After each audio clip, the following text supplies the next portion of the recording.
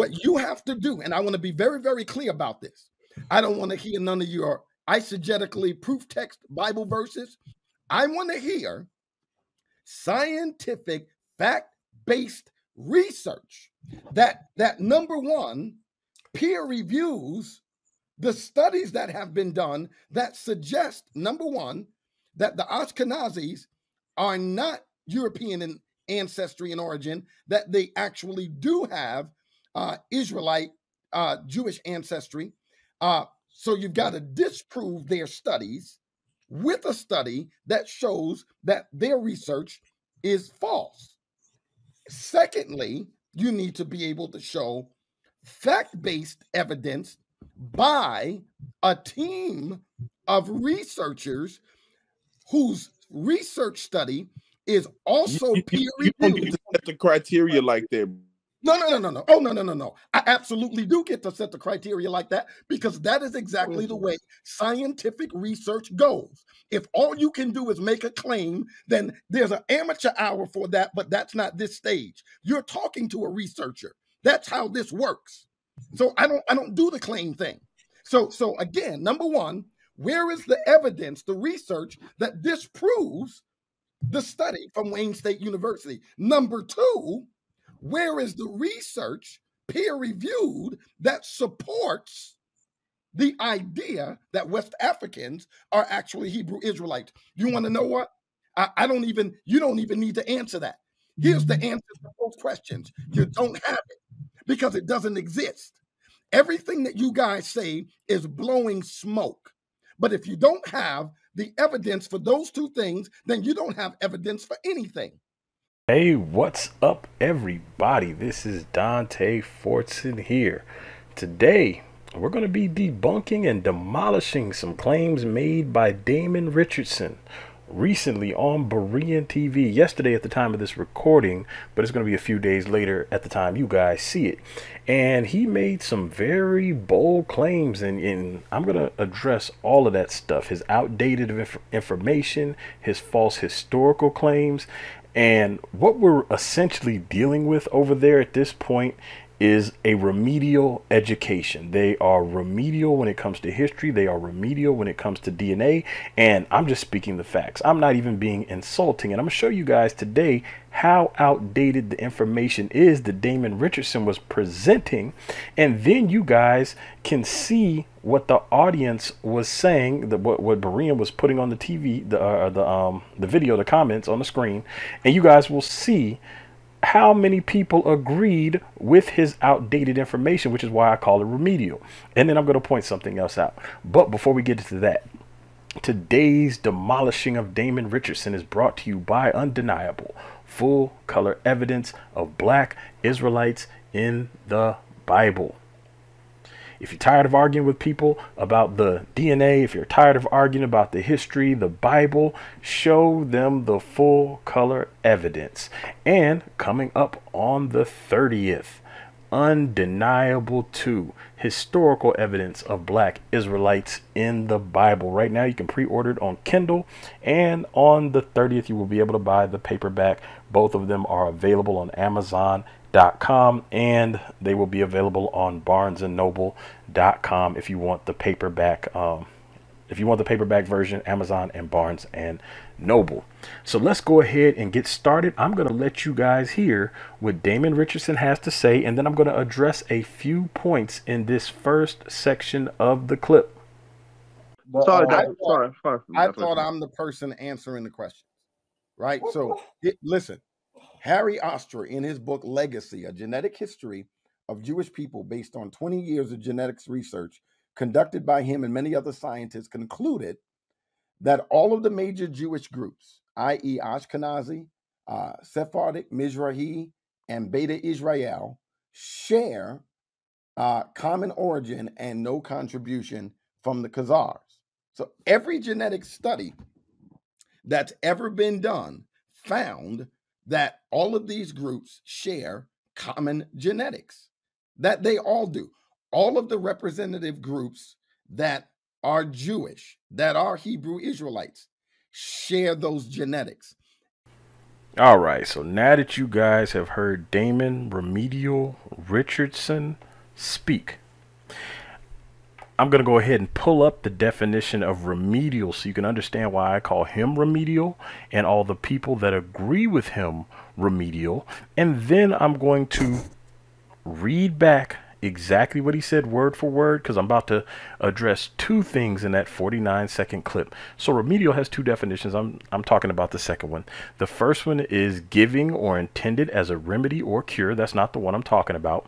What I'm talking about is this one right here. Provided or intended for students who are experiencing learning difficulties. So this is why I call him Damon Remedial Richardson.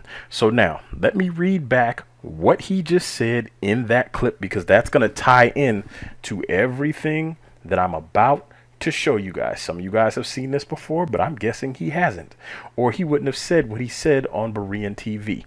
And I'm guessing a lot of the people who agreed with him on Berean TV don't know a lot of this stuff either. Otherwise, they wouldn't agree with him because he basically just put the nail in his own coffin. So, towards the end, he states, and I rewound this a bunch of times to make sure I got this word for word. You guys can go back and rewind it to make sure I'm quoting him word for word. I'm not changing anything, I'm not paraphrasing.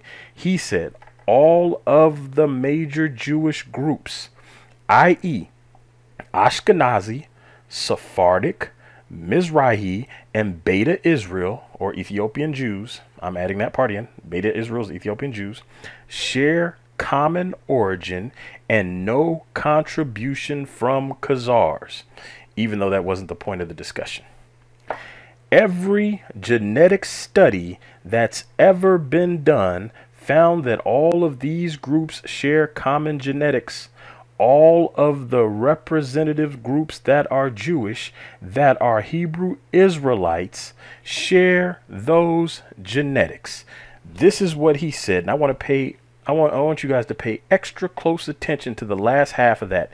Every genetic study that's ever been done found that all of these groups share common genetics all of the representative groups that are Jewish, that are Hebrew Israelites, share those genetics. And he named Ashkenazi, Sephardic, Mizrahi, and Beta Israel. Now, let's go ahead and nail this coffin in. And then on after that, I'm going to go ahead and shovel dirt on top of the coffin.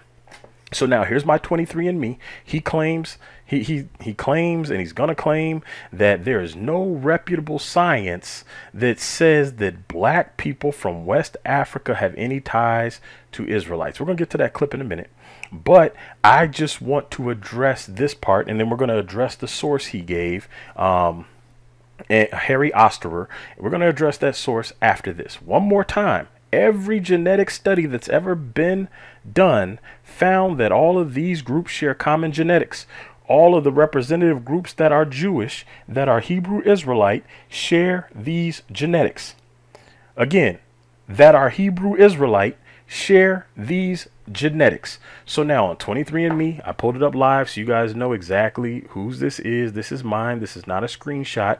Right here, 47.3% Nigerian, specifically linked to the Igbo people. Now, since I am specifically linked to the Igbo people, I'll click it right here and it's going to take you closer to Nigeria, which is in West Africa. So now we're going to come back to the West African stuff, but I'm specifically linked to the Igbo people. So there is no dispute that I have West African DNA. Now, those of you who have watched my DNA journey parts 1 through 4, specifically part 4, where I get into my paternal haplogroup. You see my name right here, Dante. Your paternal haplogroup is EL29. Now, I'm not the DNA guy. Now, I may say this wrong, but what I'm about to read off of the screen is correct. Unless somebody can debunk 23andMe as a reputable DNA company, what I'm going to read off the screen is correct. Now, from my understanding, EL29 uh, haplogroup is a subclade, I think I'm using that word right, of EM34. So now, if we come down to um, EL29, well, actually, if we come back up here to EM123. So I read this before. If you guys want the full details, go to um, my DNA uh, journey, part four Napoleon and the Black Hebrew Israelites. So A is the origin of all haplogroups. Then it's going to turn into DEM145 uh, which we see here highlighted. Then it's going to turn into EM96, and we see the pattern. So A is the origin of all haplogroups. It comes up here to DEM145. This is East Africa. And then EM96 is going to spread into West Africa, down into Southern Africa, up into Northern Africa, through the um, through North Africa, across Sinai, through the Middle East, all the way through Turkey, which is considered Asia Minor, minor up into Europe. This is what 23andMe is showing. I went over this in more detail. I just want to read up to here um, right now. Or I, actually, I'll read the first paragraph. If, again, if you guys want the full thing, you can go and and watch my DNA journey part 4. It says your paternal line traces back to the common ancestor of haplogroup EM123, a man who may have lived in Eastern Africa over 20,000 years ago. Now, I don't agree with all their dates, the 20,000 years, 250,000 years. I don't agree with all that, but it's on the screen, so I'm going to read it. At some time during the next 10,000 years, listen carefully, some of his descendants migrated north to the Levant and the Middle East. And again, I'm talking about my personal DNA, where the lineage is quite common today. In fact, evidence once suggested that the southern Levant may have been the birthplace of the haplogroup. It was there soon after the Ice Age drew to a close 11,500 years ago that humans first learned to domesticate cereals and livestock and completely transformed their way of life. In fact, farming and herding were such successful strategies that the populations boomed, sparking waves of migration into Europe and Africa about 8,000 years ago. Some of those men likely bore the EM123 haplogroup, and as they migrated, they introduced not only their technology and culture, but also the paternal lineage. So, this paragraph describes what is going on here, and it says some of his descendants migrated north to the Levant and the Middle East, where the lineage is quite common today. So, one of my ancestors has Middle Eastern lineage, or, or that is, well, haplogroup lineage, which is quite common today. But we've just established that I am 100% associated or, or a descendant of the Igbo people in West Africa. So now we'll come down to here. This is where I want to come down to. Some of you guys saw this EM34 common ancestor 20,000 years ago. This is the important part. EM34 because this is what puts the nail in Damon Richardson's coffin, which is why I call him Damon Remedial Richardson. And we're going to go deeper into that when I start to dissect his source that he gave. It says, You and French Emperor Napoleon Bonaparte both descend from an from a from the common ancestor of haplogroup EM34. So me and Napoleon both descend from the common ancestor of haplogroup EM34. The male line of Napoleon Bonaparte, it gets into that, uh, was from Tuscany. If you guys want to go deeper into that, go watch my video, My DNA Journey. Why is this important? EM34 is believed to have originated in the Levant. If you guys want to Google it, go for it and do some research into EM34. It will lead you to um, E1B1B. Even though most um, people will say, well, I'm not even going to say most, because again, I'm not the DNA guy, but a lot of people who are black and in America and spread around the world, descendants of the transatlantic slave trade are E1B1A or E1B1B. Now, real quick, I just wanted to come over here to Geni.com. Welcome to Genie, home of the world's largest family tree. EM34 Y-DNA about for people tested with paternal that's father, haplogroup Y DNA haplogroup E1B1B1C1 EM34 or for people believed to have had this haplogroup based on test of paternal descendants. So we just read from 23andMe that we have a common ancestor EM34 right here origin they have to add it later but we saw that it is the levant and if you guys go watch my dna journey video i provide more scientific sources. It says em34 is prevalent among ashkenazi and sephardic jews as well as among ethiopians or where you know beta israel lives. There is some agreement that it is a paternal lineage that emerged from Egypt and then spread throughout Western Asia and Europe from the Levant. So now we have two places saying this.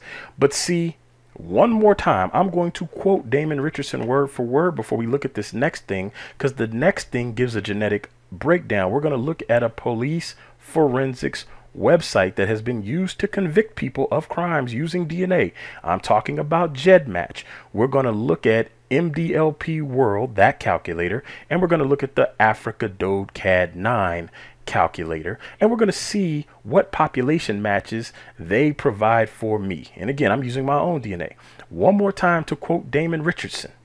All of the major Jewish groups, i.e., Ashkenazi, Sephardic, Mizrahi, and Beta Israel, share common origin and no contribution from from the Khazars. Every genetic study that's ever been done found that all of these groups share common genetics. All of the representative groups that are Jewish, that are Hebrew Israelite, share these genetics. And as we can see, according to 23andMe, I share these genetics. EM34 is prevalent among Ashkenazi and Sephardic Jews as well as among Ethiopians. Ethiopia is where Beta Israel is located.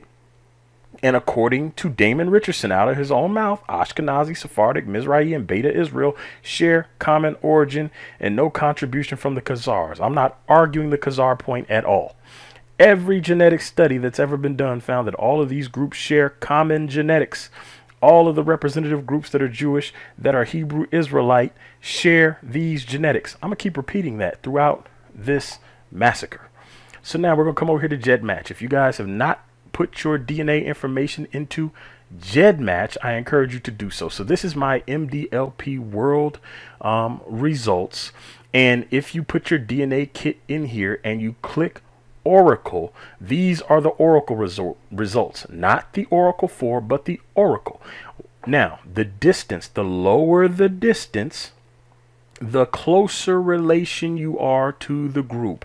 If you guys go watch my DNA journey videos, parts one, two, three, and 4, I wrote to GEDmatch and contacted GEDmatch, had a conversation to make sure I was understanding the DNA right. You will see this in the video. I sent them screenshots of my DNA results and they verified that I was reading everything correctly, that I understood everything correctly, and that my results seemed to be correct. So if you guys go watch that video, you'll see those emails. So now if you come to Africa World, I'm sorry, MDLP World, and you go into the Oracle results, you will see your popu single population sharing. Mine is Lemba at 10.76. Lemba, for those that don't know, Lemba are considered to be, let's use the word Jews as an all-encompassing term for this, you know, for this this research here. All right, so Lemba 10.76 distance, which means limba are the closest. And if you study the limba, some people believe that they are direct descendants of Moses or Aaron from the Levitical line. They believe some of the limba are Levites. So again, what did Damon Richardson say? Every genetic study that has ever been done found that all of these groups share common genetics. All of the representative groups that are Jewish, that are Hebrew Israelite, share these genetics. He did not name Limba. However, the Ashkenazi Jews confirm that they believe that the Limba are indeed Israelites. So, what Damon Richardson has to do is he needs to debunk completely the Limba being Israelites, which means he debunks Tudor Parfitt's work and he debunks any other um, Jewish groups that accept the Limba as Jews. But we're not going to stop there. And we're going to scroll down here to the mixed mode population sharing. So, again, the lower the distance number, the closer the DNA match. So if we come over here, Bantu, um, which I'm not going to get into the Bantu on here, my primary population is going to be Bantu, which is grouped by languages. But if you read down on the the Bantu, um, or if you read down this side, it's all Bantu on the left side, but the secondary population, you're going to see 4.94% Puerto Rican. That's the closest but I'm going to show you guys some stuff in a second. Now, if we keep reading down, Corsican, I, I, I just want to point this out. Corsican. Why is Corsican important? Because it verifies what 23andMe says about Napoleon. Right here, 11 generations before Napoleon, his ancestor Giovanni was the first to leave Tuscany for Corsica. Now, Bonaparte's Bonaparte lineage lived in Corsica for 10 generations before Napoleon's father, Charles Marie Bonaparte. Charles Marie, born 1746, married Napoleon's mother, Letizia Rom Ramolino at the age of 18 in 1764. Now, if you guys go watch part four of my DNA journey, I get further into that, and Napoleon has a Moorish ancestor.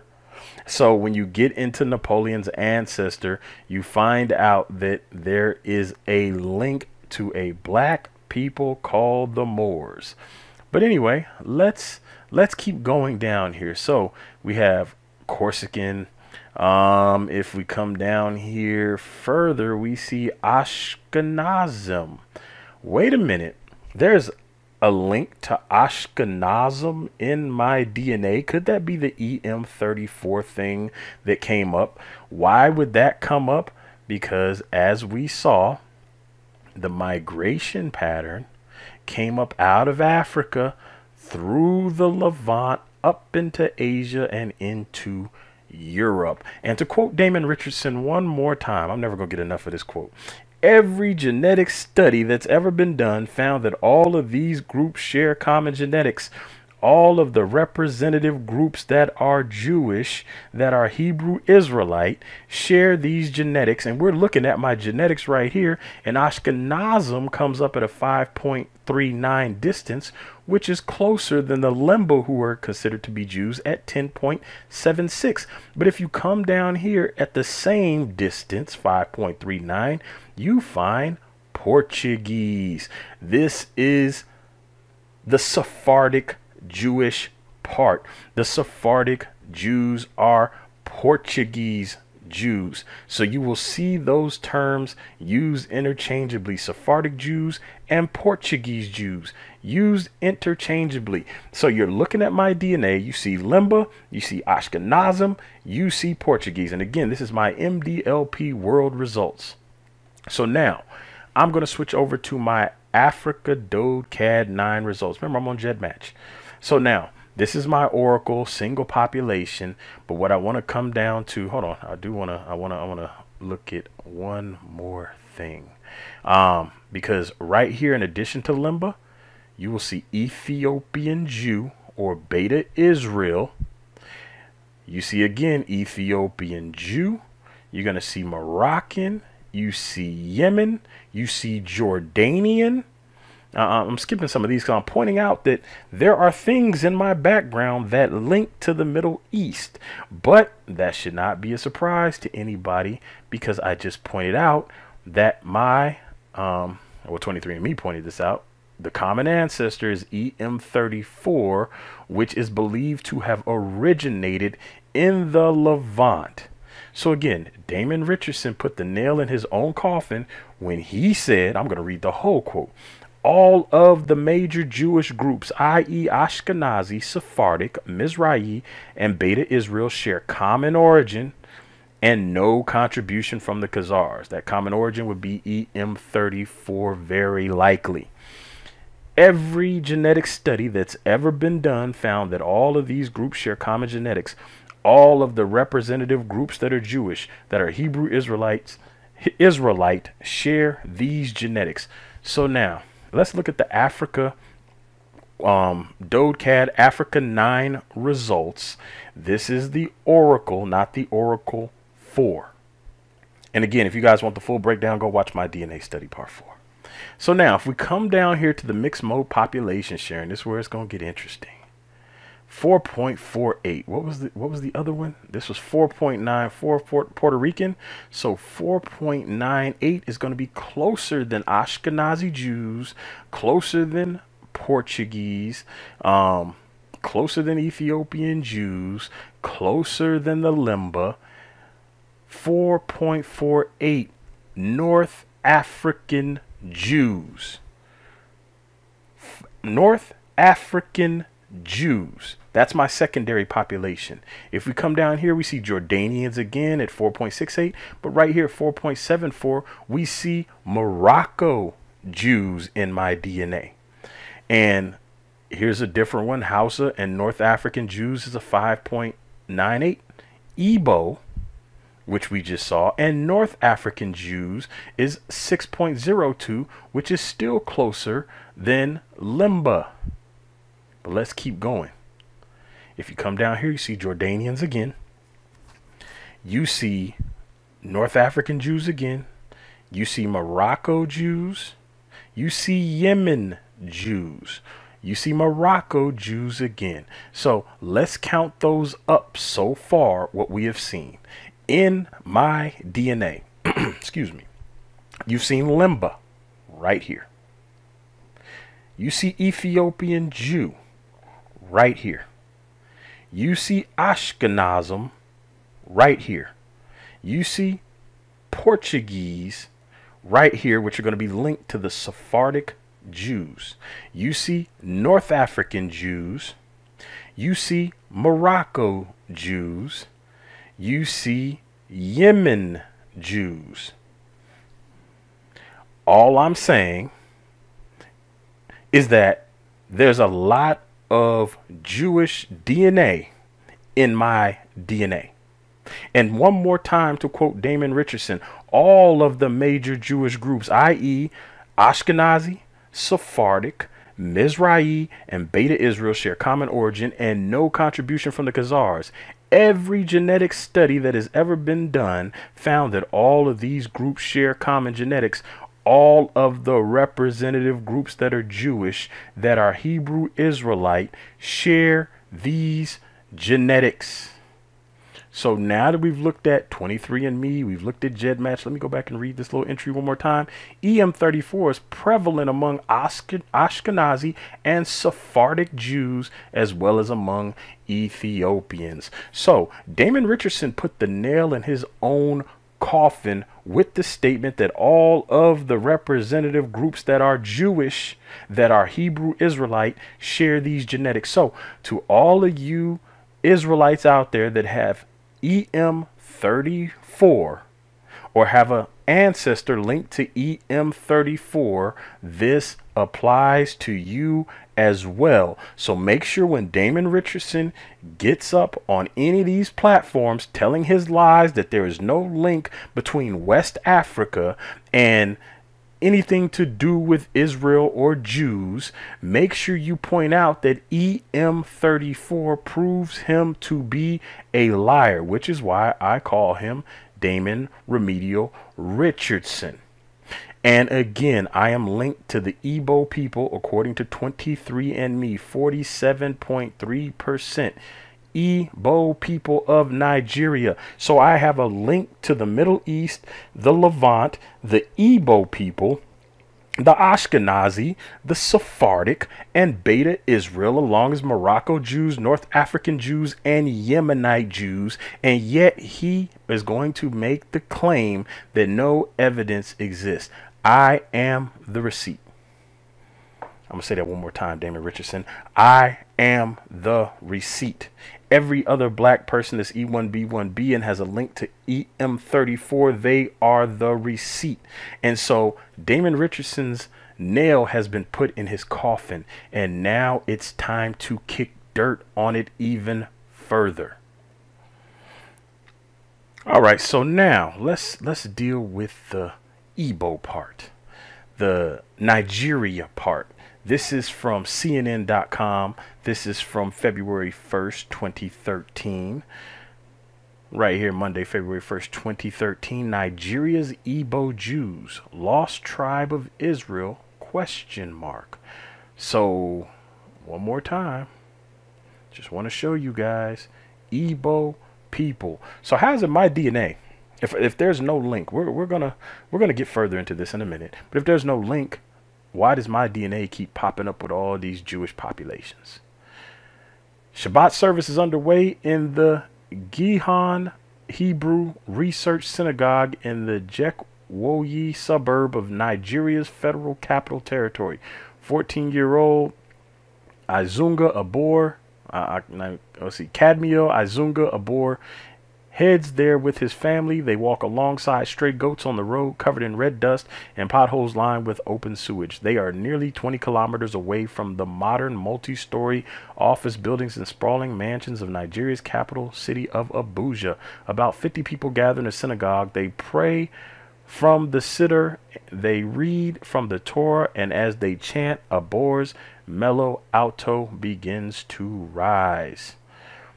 In a country of 162 million people, tensions often lead to violent uprisings between Christians and Muslims, and being part of the religious minority can be an issue, but Abor wears his kippah and his identity with pride. I am a Jewish Igbo. So now, they're going to we, the, the, the response of the urban apologist is usually just to deny something or call it pseudo. They don't really read from sources or show sources or debunk anything. They don't get retractions from all these sources that they um, supposedly debunk. And so just expect them to deny everything being said or try to find a a different explanation as to what's happening. It says the Igbo are one of Nigeria's largest ethnic groups with a populate with population estimates ranging from 20 to 50 million. Abor is convinced that the Igbo's ancestors were Jews.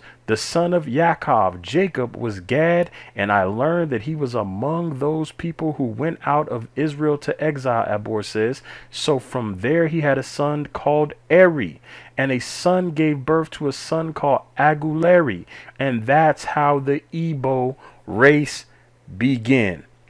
From generation to generation, some Igbo have passed down various versions of a migration story framed around Jacob, a patriarch of Judaism. A popular version of the narrative holds that Gad, the seventh son of Jacob, had three sons who settled in present day southeastern Nigeria. We're going to come back to this after we listen to some more of what Damon Richardson says which is predominantly inhabited by the Igbo. The sons of Eri, Arodi, and Areli, as mentioned in the book of Genesis, are said to have fathered clans, established kingdoms, and founded towns still in existence in southeastern Nigeria today, including Owerri, Umuleri, Arochukwu, and Aguleri. So we're not going to read all this, but I'm going to have the link in the description for you so you can read the whole thing. It says, When I grew up, I heard like virtually every Igbo here that the Igbo people came from Israel. This is from Remy Ilona, Nigerian author and lawyer. Some of y'all are familiar with him. So now, that's from CNN. This is from TheGuardian.com, the Lost Tribe of Nigeria. We're not even going to read all of this. Um, let me see. We'll just read this first paragraph. It says, Until the 1990s, there were almost no Jews in Nigeria. Now thousands have enthusiastically taken up the faith. Why?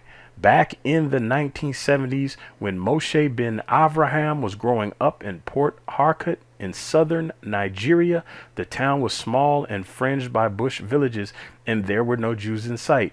Ben Avraham wasn't yet Jewish himself. He wasn't even Ben Avraham for that matter. His Anglican parents gave him the name Moses Wallison, still his official name, and they raised him as a church going boy. In this, they were no different from millions of others in their part of the country. One of the first demographic details anyone learns about Nigeria is that while people living up north are predominantly Muslim, those down south are just as overwhelmingly Christian. The many buses sputtering up and down these southern highways bear slogans like Jesus is needful on their back windows. On billboards, preachers hype their ministries. A prayer meeting is never just a prayer meeting, it is a global mega power quake or a harvest of miracles. Islam and Christianity have been in Nigeria for centuries, but Judaism has none of that conspicuous history or heritage. We're going to address that too. In his childhood, Ben Abraham knew nothing of Judaism. He'd only encountered Israel as a biblical name. Israel, Abraham, of all things, he recalled. So now, I'm going to let you guys read all this for yourself. So now there are Nigerians, Igbo specifically, gravitating towards Judaism. This is BBC News. The Nigerians who want Israel to accept them as Jews. This is from 2021. Rocking back and forth, Shlomo ben Yaakov reads from the Torah scroll at a synagogue on the outskirts of Nigeria's capital, Abuja. So this is basically a repeat of the other article. Um, I'm not going to read this, but if you read the first article right here, um, you guys can see from CNN and the BBC article and the CNN article basically the same. So now we're going to fast forward to the Obadiah Alliance. So who is the Obadiah Alliance? It says mission to create an alliance that will speak in favor of the Spanish and Portuguese Jews around the world. Train vision, train and educate leaders in the Western Sephardi tradition and create centers of learning, learning throughout the Sephardi diaspora, prepare the Spanish and Portuguese Jews to live in the Holy Land through instruction in agriculture, self defense, and self sustainable living. And then you have their team. This is a Portuguese Jew, Johan, Elazar de Mota. Dr. Hakim I don't even want to butcher his name, was born in Miami. He comes from a long line of Sephardic families from Spain, Portugal, and North Africa, which established themselves in the Caribbean before migrating to the United States of America. You guys can go through and read this whole description. So, now why am I talking about the Obadiah Alliance, the Igbo, uh, Portuguese, or Sephardic Jews? Well, if we come over to here, the Obadiah Alliance, same people. Obadiah Alliance. If you go on YouTube, you will find this man right here speaking on this Obadiah Alliance right here. Let's see. Let's see. What what what is what does this say? Let's uh where should I read from? Give me a second here. Well, I'll read this. Igbo's Israelites coerced to Christianity and their return. Question. There exists a claim that the Igbos of Nigeria belong to the children of Israel. Let's stop there for a moment because we're going to come back to this for those who have never heard it. The Igbos of Nigeria belong to the children of Israel. This is the claim. So once again, what am I? Nigerian Igbo. Now, I just want to point out that Damon Richardson does not believe any black people from West Africa have any link to Jews. In fact, he calls us fake black Israelites. Why? Because he eisegetes the biblical text. He eisegetes DNA. He eisegetes history. This is why I call him Damon Remedial Richardson. He eisegetes everything. He approaches the text with his preconceived notion that there's no way black people could have any association with Jews, and yet here we are talking about people in Nigeria claiming to belong to the children of Israel and the Obadiah Alliance, which is a Sephardic Jewish organization, has a official statement released right here. It says, uh, I'll start and I'm going to read this so we don't take up a ton of time. There exists a claim that the Igbos of Nigeria belong to the children of Israel. There are millions of inhabitants in and out of Igbo land who belong to the Igbo tradition. Much has been written about the Igbo traditions which attest to the claim, including historical and anthropological works detailing lore, customs, sociology, philosophy, and history. Despite strong evidence evidences of their connection to the biblical Israelites, Due to forced conversions of Christ- to Christianity, there are few rabbinic authorities today who decide that Igbos must undergo either a full conversion or undergo strict procedures to remove all doubt and to reintegrate them with the Jewish people. What is the halakha regarding the Israelite identity of the he- of the Igbos, and can halakhic Jews marry with them? That's the question. So now here goes the answer. Once again, these people are from West Africa, specifically Nigeria, specifically in the area known as the Slave Coast on 1747 maps, specifically the area marked as the Kingdom of Judah or Widda. We're going to come back to that in a second. So here's the answer. Due to the transgressions of our ancestors, our nation was divided into two kingdoms before the, before the destruction of the first temple in Jerusalem. During the time of the prophet Jeremiah, A.H. While the vast majority of Israelites went to Babylon, some Israelites relocated to Egypt and founded the Elephantine Jewish community. Genetic studies of the Y chromosome of Igbo men demonstrate that they originated in the Levant basin, sharing genetic links with Sephardic and Ashkenazi Jews alike. Wait, wait, wait, wait, wait. So now Igbo share genetic links with Sephardic and Ashkenazi Jews alike and originated in the Levant. It's probably that EM34. I can't prove it. I'm not the DNA guy. I'm just I'm just reading what is in front of me. So, one more time, genetic studies of the Y chromosome of Igbo men demonstrated that they originated in the Levant basin, sharing genetic links with Sephardic and Ashkenazi Jews alike. So when did this happen? Um, let me see if the date is on here. Well, this happened this year. This was in February, for those that don't know. This is February 2022.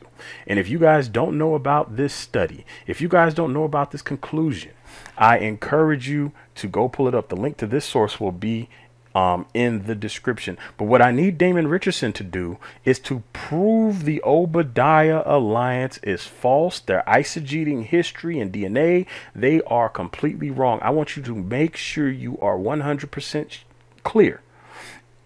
Either these Sephardic Jews are liars and deceivers, or they're telling the truth please let us know how you feel about the Sephardic Jews' conclusion of Igbo, because the Igbo are in West Africa, and the Igbo seem to be linked to Israelites. But let's keep going. While there is yet an exhaustive academic genetic study of the Igbos, the data of the majority of those who have reported their autosomal and Y chromosome DNA supports that their ancestors migrated from the Levant Basin into East Africa and then settled in West Africa. Moreover, Igbos are organized according to clans. The elders transmit genealogies orally back to our patriarch Jacob. Indeed, many Igbos descended from Kohanim and Levites. These facts attest to the ancient Israelite origin of the Igbos. One more time, I keep this up so I can show you this map. Igbos, West African, Igbos, Nigeria. This is where they are in Nigeria.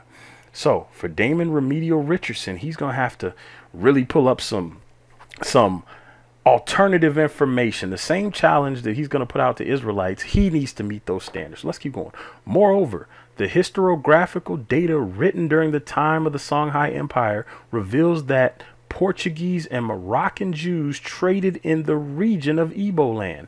Records also evidence the union between Portuguese Jews and West Africans in the region, whereby local women underwent halakhic conversions to the Jewish people. Such was the case in Senegal, Gambia, Nigeria, Togo, Benin, and Angola.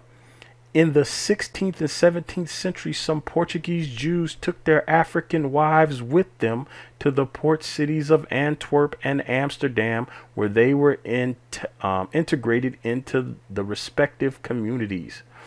The presence of Israelites along the Niger River had been known by Jewish authorities in the United Kingdom, the Netherlands, Lithuania, and Suriname rabbinic, I believe I'm pronouncing that right. I might be pronouncing that wrong. Rabbinic letters addressed to the Igbos by chief rabbis Dr. Solomon Herschel Lewin, David Meldola, and Gaon of Vilna support the idea that there was contact between European Jewish communities and Igbo Israelites.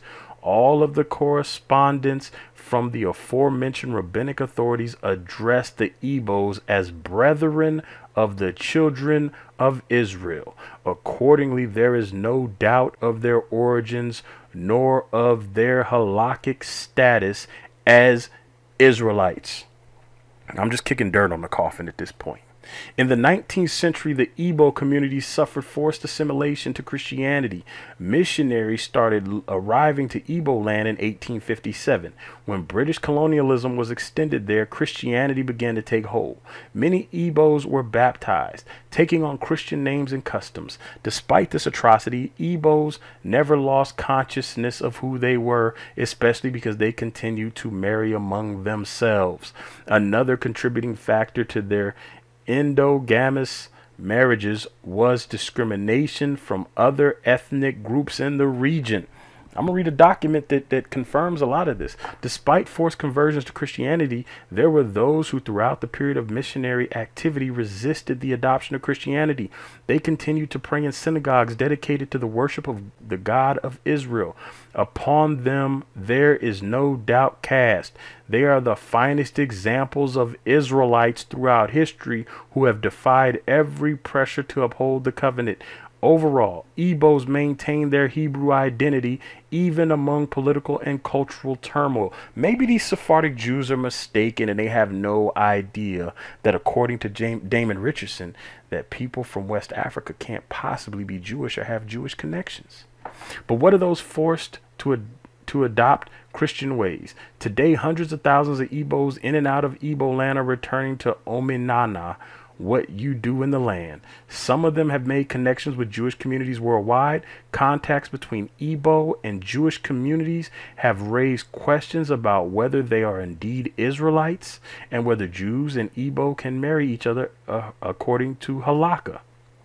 As stated before, there is no doubt, none, no doubt, that Igbos are our brethren, the children of Israel. The question at hand is if the adoption to Christianity by those who were forced affects their status as Israelites. The analysis herein will demonstrate that questions involving the doubtful status of Israelites who are coer- coerced into Christianity only arise within Ashkenazi authorities who lived during the Second Crusades. On the other hand, Sephardic Jews who suffered forced conversions to Islam and Christianity were unan- unanimously treated as Israelites. This analysis will demonstrate that according to Jewish law, Igbos are anusim and should be treated as sequestered children by the heathens. As such, they should be treated with kindness, mercy, and compassion. During the 13th and 14th centuries after the Second Crusades, Franco German rabbinic authorities took a more severe, position regarding Anusim. They preferred Kadush Hashim, martyrdom, instead of conversion to Christianity. In the middle of the 13th century, Ramir ben Baraka of Rothenburg decided that the case of the Halissa, the brothers who are Mesh oh my goodness, Meshumadim cannot fulfill the misva or miswa. The same Hakam does not accept as valid the testimony of renegade Jews, not even if they are secretly sincere to the faith of their ancestors.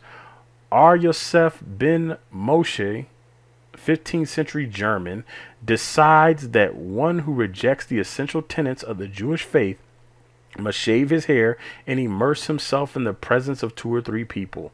R. Israel Israel Israelin decides that those who return to the faith of their ancestors are not numbered in the community for things that have to do with Kedusha, Minyan, testimonies, etc., until he has been shaven and has made Tebela. He then says, Although this is not required, it is already the custom of our fathers, therefore it is law. Thus, Anusim and renegade Jews are treated as being either apart from the nation of Israel or treated harshly.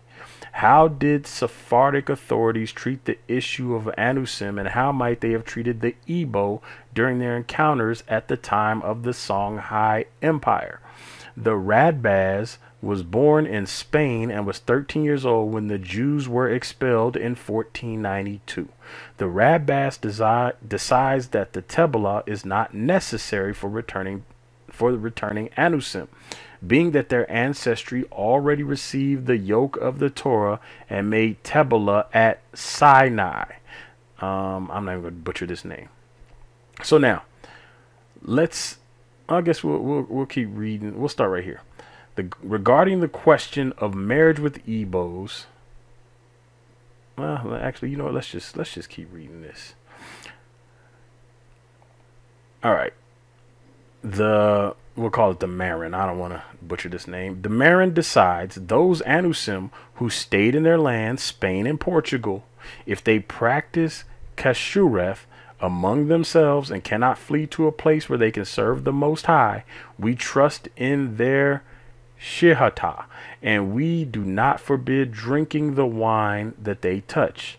The Maharits decide that there is no suspicion that a person who returns to the Jewish tradition openly is from a non Jewish mother, being that the Anusim have Hazakah that they marry among themselves. This applies equally to the Igbo, since it is known and widespread that they marry among themselves. Finally, the Hida decides that the descendants of the Anusim only have to bless, I, am not even going to butcher this word, after performing the Barith Milah, while the proselyte must bless the Tebela. Herein, one sees the halakhic difference between the returning Israelites and the proselytes. All of these responsa, which were written during the time period of the Inquisition, could be easily applied to the Igbo due to social political similarities between both contexts. Overall, Sephardic rabbinic authorities treat the Anusim as legitimate Israelites who do not need to be immersed upon their return to the open practice of Jewish tradition. Indeed, the Igbos should be treated the same way. Regarding the question of marriage with Hebrew, Igbos, the Hatham Sofer decided that in responsum that all families of Israelites are fit to marry each other and there is no question of their Jewishness. There he explains that Rashi demands to analyze the lineages through the Ketubath only when there is suspicion of the Kohanim lineages. This is when Kohanim are believed to have mixed with non Jews. On the other hand, the Hatam Sofer decides that the Rabash, the Kohanim among the Anusim, if they return to the faith of their ancestors, they are Kesherim, since they are most careful not to mingle with the nations, just as it just as it is laid down by the principle Anything that is separated from the majority reflects that majority. He then says that since the days of the second temple, no doubts have been raised among the lineages of the Kohanim. Therefore, God forbid we should pass judgment on the Kohanim who come from the Anusim, that a non Jew has raped a daughter of Israel. Accordingly, the same rules should be applied to the Igbo, especially because they are strictly endogamous or endogamous. I'm not sure how to pronounce that. The fact rabbinic authorities during the Son- Songhai Empire were aware of Israelites in Igbo land leads to the logical conclusion.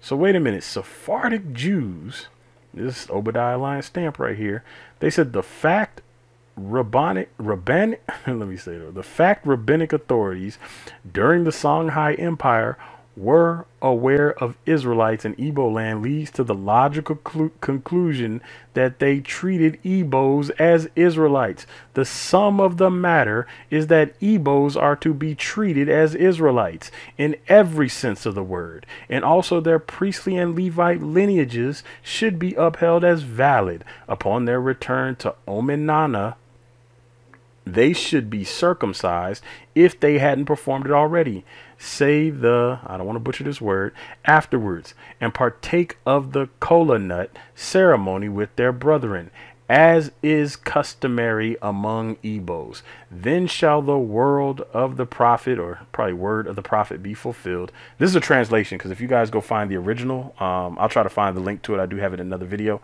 The original is written all in Hebrew. This is a translation.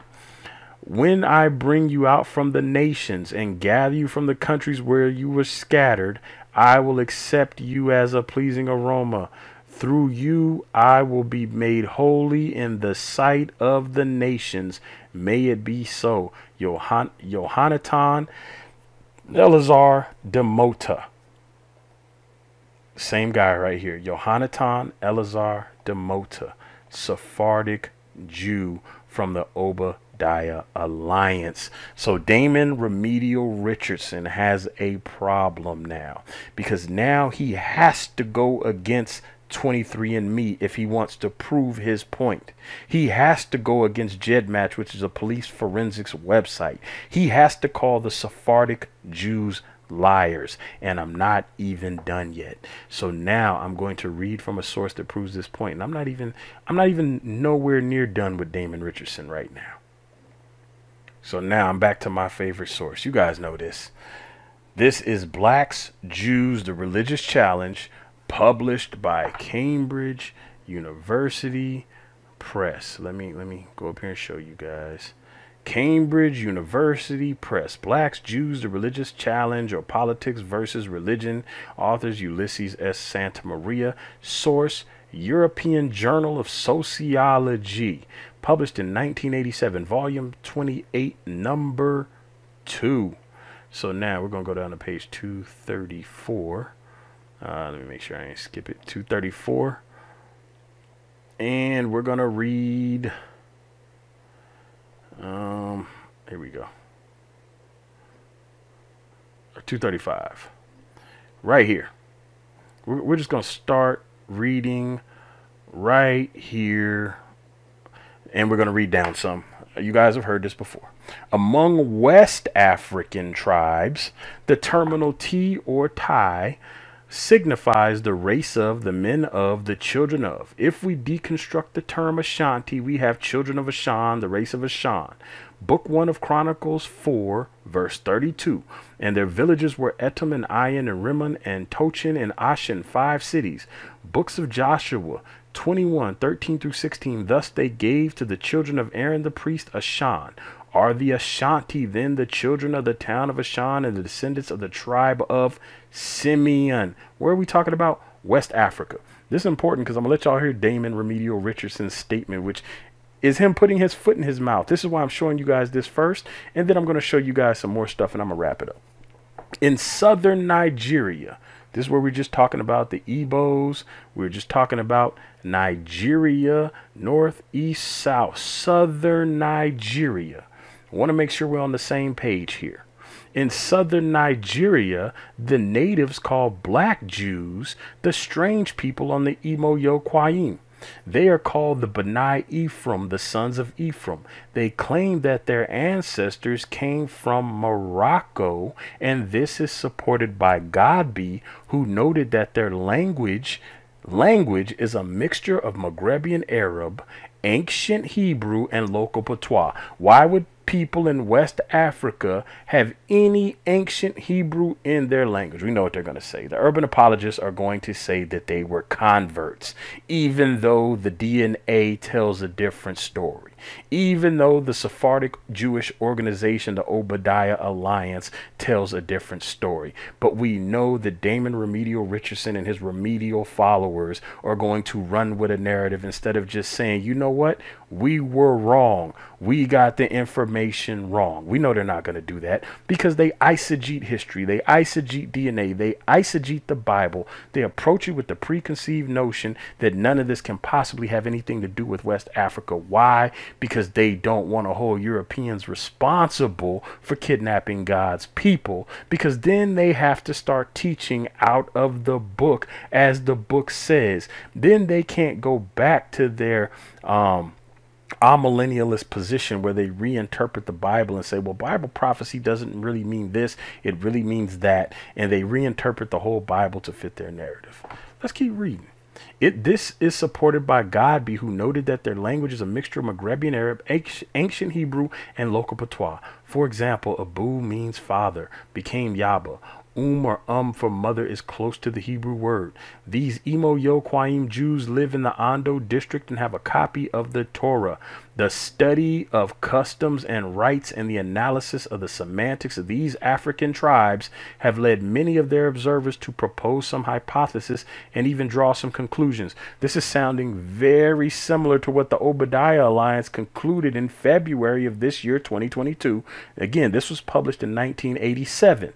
Dr. Allen H. Godbey, which we're going to come back to him and look at one of his maps, reached the following conclusion. Remember, Dr. Allen H. Godbey reached the following conclusion. These factors have a very specific significance if we consider the presence of Judaism among the American Negroes. Hundreds of thousands of slaves were transported to America from West Africa during the trade, which started some 400 years ago do me a favor, hit that thumbs up. What traces of Judaism still remained among the Negroes of West Africa at that period? To the extent that they were persecuted, they were more likely, I say this all the time, not less likely, they were more likely than other Negroes to be seized during wars and sold as slaves. Now, I want y'all to listen to this next part real, real close because this is a big old, big old, big old tractor full of dirt that gets shoveled onto Damon Remedial Richardson's coffin. It is virtually certain that many part Jewish Negroes were among those sent as slaves. They didn't migrate over, they were sent as slaves. What did Christ say in Luke 21 22? Ye shall be led captive into all nations. And so here we have virtually certain that many part Jewish Negroes were among those sent as slaves to America.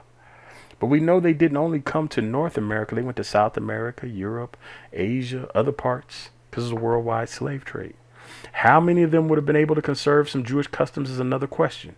This conclusion put forward to Godbey, which argues for the existence of a more or less recurrent Judaism in West Africa, in the same places as those from which the Negroes were taken, somebody tagged Damon Richardson in this, is shared by others such as Maurice Delafosse, but most significantly, it has been adopted by a class of educated black Americans as a key argument to demonstrate that the Jewish religion is the traditional religion of African Africans brought in slavery to the American continent I'm going to read that again for Remedial Richardson.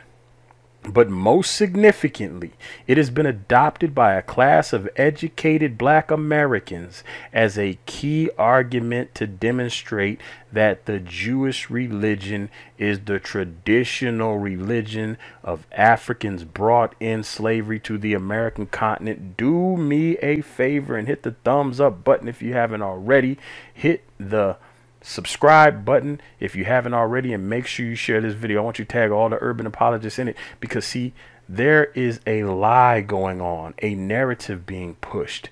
And everything that I've read so far, everything that I've shown so far, links back to West Africa. It links to Nigeria. The DNA exposes Damon Remedial Richardson as a liar and a deceiver. Now, I'm about to pay, play another clip, but one more time. I want to. Oh, wait, there's one more thing I want to show. But I'm going to read his quote one more time, and I'm going to show something before I play his next clip. All of the major Jewish groups, i.e., Ashkenazi, Sephardic, Mizrahi, and Beta Israel, share common origin and no contribution from the Khazars. Every genetic study that's ever been done found that all of these groups share common genetics. All of the representative groups that are Jewish, that are Hebrew Israelite, share these genetics. So now I'm going to go back up just a little bit. Um, and the reason I didn't read this in order is because I wanted to now talk about the Sephardic Jews again. So now we've talked about West Africa, and we're gonna we're gonna still talk about West Africa, but we'll read down just a little bit. It is well known that 1500 years before Islam, Judaism was present in Africa. Travelers' tales and the stories of journeys across North Africa and Sahara and the Sudan provide considerable evidence of the existence of Jewish communities on the African continent. We know that from the time of St. Jerome, 340 to 420, a chain of Jewish commercial towns stretched almost uninterrupted from Mauritania to India, reading from the same source, Black Jews, the Religious Challenge. St. Augustine learnt Hebrew in Tanzum, where there was a Judeo Syrian colony which came from Cyrenaica. These groups went as far as Akkar in the southern Sahara or, or sub Saharan Africa. And according to the Chronicle of the Sudan, the dynasty of the kings of Ghana originated in that group. So now they're linking Ghana. Jewish contacts and, influ- and, influences with Black Africa were also noted by Arab geographers Ibn, bin, Ibn Khordadbeh and El Bikri, who stated that the roots of the trans Saharan trade, in which Jewish caravans and interpreters were involved, culminated in Ghana and in the lower valley of the Senegal River. So I went ahead and pulled up a map of Ghana. You see it right here in West Africa. Ghana. Here's a closer map. Ghana is in West Africa. You're going to see uh, Benin and Togo right here, and you're going to see Nigeria over here. So this whole area they're talking about right now, this whole area in West Africa, and we're going to see. Let me let me pull up a um, transatlantic slave trade map.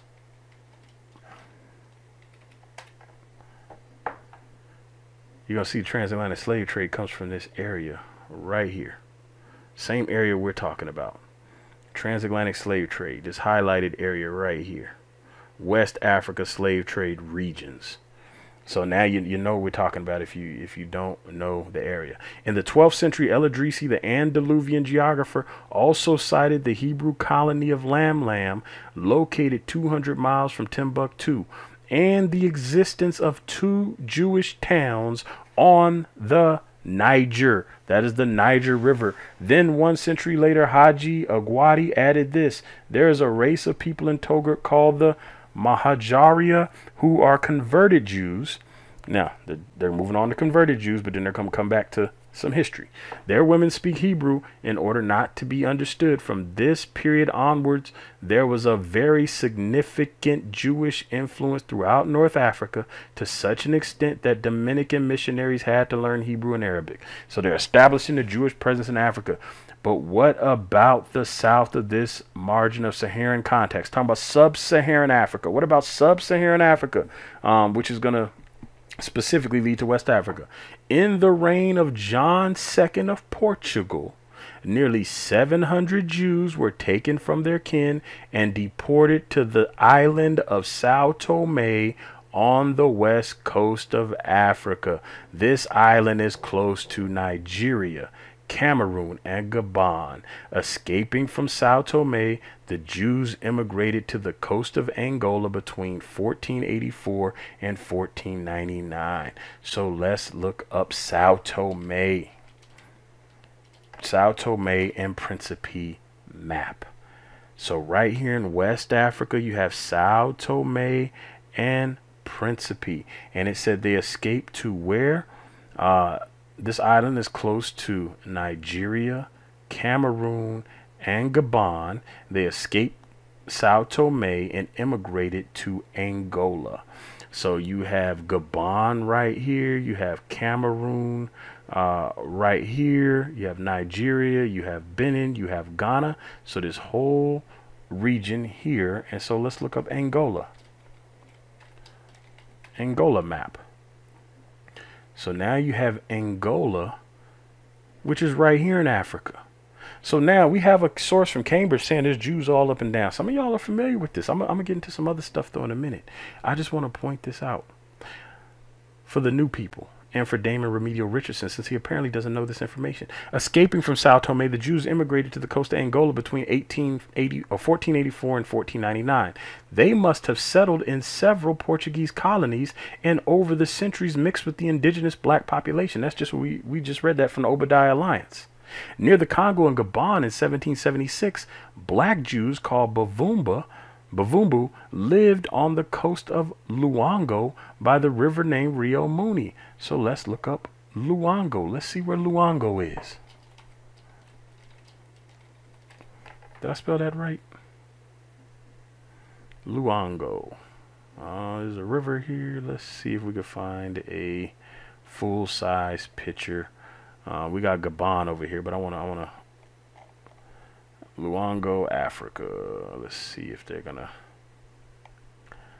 All right, this is somewhat better. It gives you an idea of where we're talking about. Um, but yeah, we're still over here in West Africa. Let's keep reading. It would seem that they adopted Christianity at the same time as maintaining their Judaism. Sounds like what the Obadiah Alliance is saying. By 1847, David Livingstone discovered a group of educated blacks living in the interior, some 200 miles from the coast of Luando. These black Jews are called the Jews of Angola. They were good merchants, learned easily, and had a knowledge of Portuguese law and history. Interesting Sephardic Jews or Portuguese Jews. They were often employed as clerks and writers. For Livingstone, there was no doubt, no doubt, but that these people were the descendants of those who had been deported from Portugal in the 15th century. Other evidence supports his intuition. In savage Africa, Winwood Reade writes of having met in Guinea blacks claiming to be Portuguese or Sephardic around 1864. Closer to our time, Dr. J. Kreppel noted sometime after the First World War that a large community of black Jews existed in the interior of Dahomey. These Jews had the five books of Moses written on old parchment in Hebrew. So now, where is Dahomey? Let's look up the Dahomey map. Dahomey map. Where's Dahomey? Oh, over here. Dahomey's right over here. This area with Ghana, Benin, Togo, and Nigeria. We're going to see in a minute that there was an invasion. And the kingdom of Dahomey is going to invade the kingdom of Wida or Judah, the area marked as the slave coast. And the Dahomeans, which are the, the tribe of the, the movie Woman King, they started rounding up the Israelites and selling them into slavery. And so this is what you're going to see the Dahomians rounding up Israelites, selling them into slavery. That's what Cambridge is talking about. They were more likely than other groups to be seized in wars and sold as slaves. So let's get back to Damon Remedial Richardson butchering both DNA, DNA and history with outdated sources. Well, sorry, I, thought, sorry, sorry, I thought I'm the person answering the questions, right? So it, listen, Harry Ostrer in his book Legacy: A Genetic History of Jewish People, based on 20 years of genetics research conducted by him and many other scientists, concluded that all of the major Jewish groups, i.e., Ashkenazi, uh, Sephardic, Mizrahi, and Beta Israel, share uh, common origin and no contribution from the Khazars. So every genetic study that's ever been done found that all of these groups share common genetics, that they all do. All of the representative groups that are Jewish, that are Hebrew Israelites, share those genetics. All right. So you guys heard him mention Harry Ostrer, and he's referring to this book right here. So now, before I continue, I've given you nine sources. I didn't even count any of the maps I pulled up on Google. So I've given you nine sources so far. So now, what I'm going to do from this point onward, because I'm going to go through some sources kind of faster, I'm going to say source count. So on the next source, when I say source count, I want you to put a 10 in the chat. And then when I say source count after that, put an 11 in the chat. So I'm going to need you guys to keep track of how many sources I bring out to completely obliterate Damon Richardson's positions. So now, press 1 if you understand the assignment, and press 2 if you do not. All right, so we're going to continue. He names Harry Ostrer. So, who is Harry Ostrer. And I find it interesting that he chose to go the route of naming Harry Ostrer of all people. Now, I'm not the DNA guy. I tell people this all the time, and I keep saying that for a reason. However, they are forcing me to learn more and more about DNA. And the more I learn about DNA, the more it ties the history together with the biblical narrative. And I'm going to show you guys exactly what I mean because Harry Ostrer is going to lead us into some interesting places. Places Damon Richardson neglected to mention when he was quoting Harry Ostrer, when he said all of the major Jewish groups, i.e., Ashkenazi, Sephardic, Mizrahi, and Beta Israel, share common origin and no contribution from the Khazars. We saw my DNA. I share origin with all of those groups with no contribution from the Khazars. Every genetic study that's ever been done found that all of these groups share common genetics. All of the representative groups that are Jewish, that are Hebrew Israelite, share those genetics. I just want to throw that out there one more time. Those words came out of Damon Richardson's mouth. You just heard them again. So now, Harry Ostrer, this is the book he's quoting from, Legacy, A Genetic History of the Jewish People. It's available on Amazon. A link will be in the description if you guys want to read this book. So, I'll just read this first little part here and then we will move on. Who are the Jews? A race, a people, a religious group? For over a century, non Jews and Jews alike have tried to identify who they were, first applying the methods of physical anthropology and more recently of population genetics. In legacy, Harry Ostrer, a medical geneticist and authority on the genetics of the Jewish people, explores not only the history of these efforts, but also the insights that genetics has provided about the histories of contemporary Jewish people. Much of the book is told through the lives of scientific pioneers. We meet Russian immigrant Maurice Fishberg, Australian Joseph Jacobs, the leading Jewish anthropologist in Fin de Siècle, Europe. Haim Sheba, a colorful Israeli geneticist and Surgeon General of the Israeli Army, and Arthur Mourant, one of the foremost catalogers of blood groups in the 20th century. As Ostrer describes their work and the work of others, he shows that to look over the genetics of Jewish groups and to see the history of the diaspora diaspora woven there is truly a marvel. Here is what happened as Jews migrated to new places and saw their numbers wax and wane as they gained and lost adherents and thrived and were buffeted by famine, disease, wars, and persecution. Many of these groups from North Africa, the Middle East, India are little known. By and by telling their stories, Ostrer brings them to the forefront at a time when assimilation is literally changing the face of world Jewry.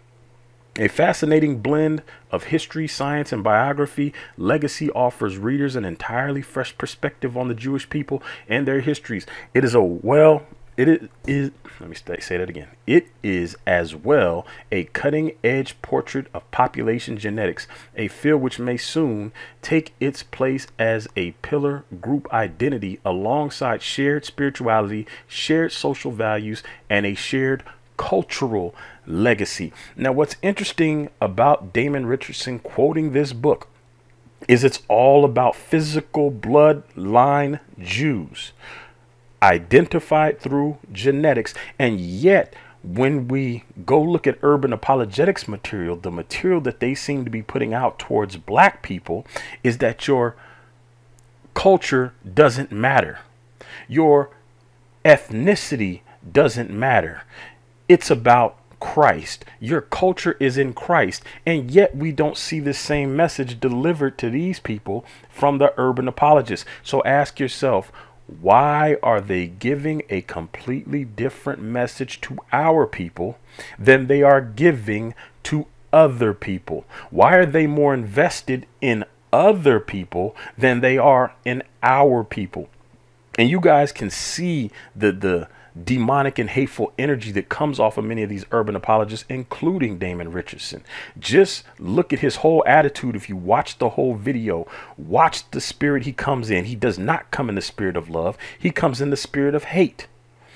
And we're going to see some more stuff. But let's stick to Harry Ostrer for a minute and we're going to get back to Damon Richardson because he says some more stuff.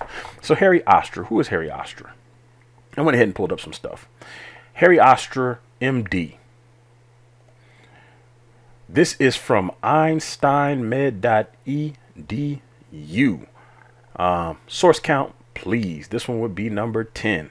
Um, I'm going to stop saying numbers because I want y'all to keep track in the chat. Do me a favor, everybody in the chat, uh, put a 10. And again, when I say source count, everybody put the source number so that way we know where we're at. So now, area of research, human developmental disorders, including disorders of sex development, cancer, genomics, including cancer, predisposition, and metast uh, met let's see, metastatic risk genetic variation in human populations, including Jews and Hispanic Latinos. Here's his contact information. This is freely available on Albert Einstein College of Medicine website. And it goes into his professional interest. I'm not going to read all of this, his suggested publications, all of that stuff. You guys can go through here and see who this man is. So now let's look at Reuters. So now this is Reuters, August 6, 2012. Why are we going back to 2012? Well, because if we scroll down here, we see that the publisher of Harry Ostrer's book is Oxford University Press. Now, when I bring out sources from university presses and other university publishing uh, houses, they will say that's pseudo. They often say, and when I say they, I mean the urban apologists, they will say something is pseudo. They say these are student papers. They make all kinds of excuses. But let's, we're going to hear in a minute the response they give to Damon Richardson bringing out something from a university press. They treat it as if it's the holy grail of all information. So now this was published by Oxford University Press, first edition, May 2nd, 2012. So the information that you heard Damon Richardson presenting, this was on the 9th, November 9th, 2022, that Damon Richardson presented this information. It's a decade old. So what we're looking at is an urban apologist who's considered to be one of the top apologists. He wants to debate people. He is operating off of a decade old published book. So again, this book the information in this book is 10 years old.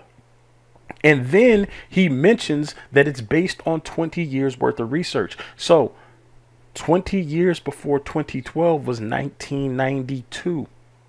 So, what the urban apologists are doing is they're running on outdated software. Imagine if you had a computer and you didn't update the software for a decade.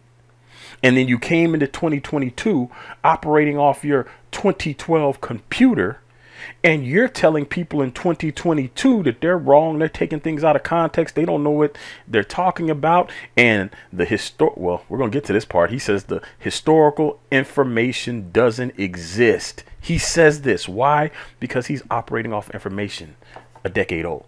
So now let's read this right here. This is August 6th, 2012. The book was published in May. As you can see, it says updated 10 years ago. This is from Reuters.com. Link will be in the description. By Sharon Begley. Adds to evidence for biological basis for Jewishness. If you listen to the urban apologists, they will there's neither they'll say there's neither Jew nor Greek and they will hit you with those verses. And again, your culture has to be in Christ, and everybody that's a Jew is not really a Jew. You're only a Jew if you follow Christ. And yet, we don't hear them saying this to white Jewish people in the land of Israel. They say that to us, only to black people. Shows linked to Spanish Inquisition. That is the information we've been bringing out for a while as you guys saw the links to Spain and Portugal uh, when I went through my DNA, so we won't cover all that again.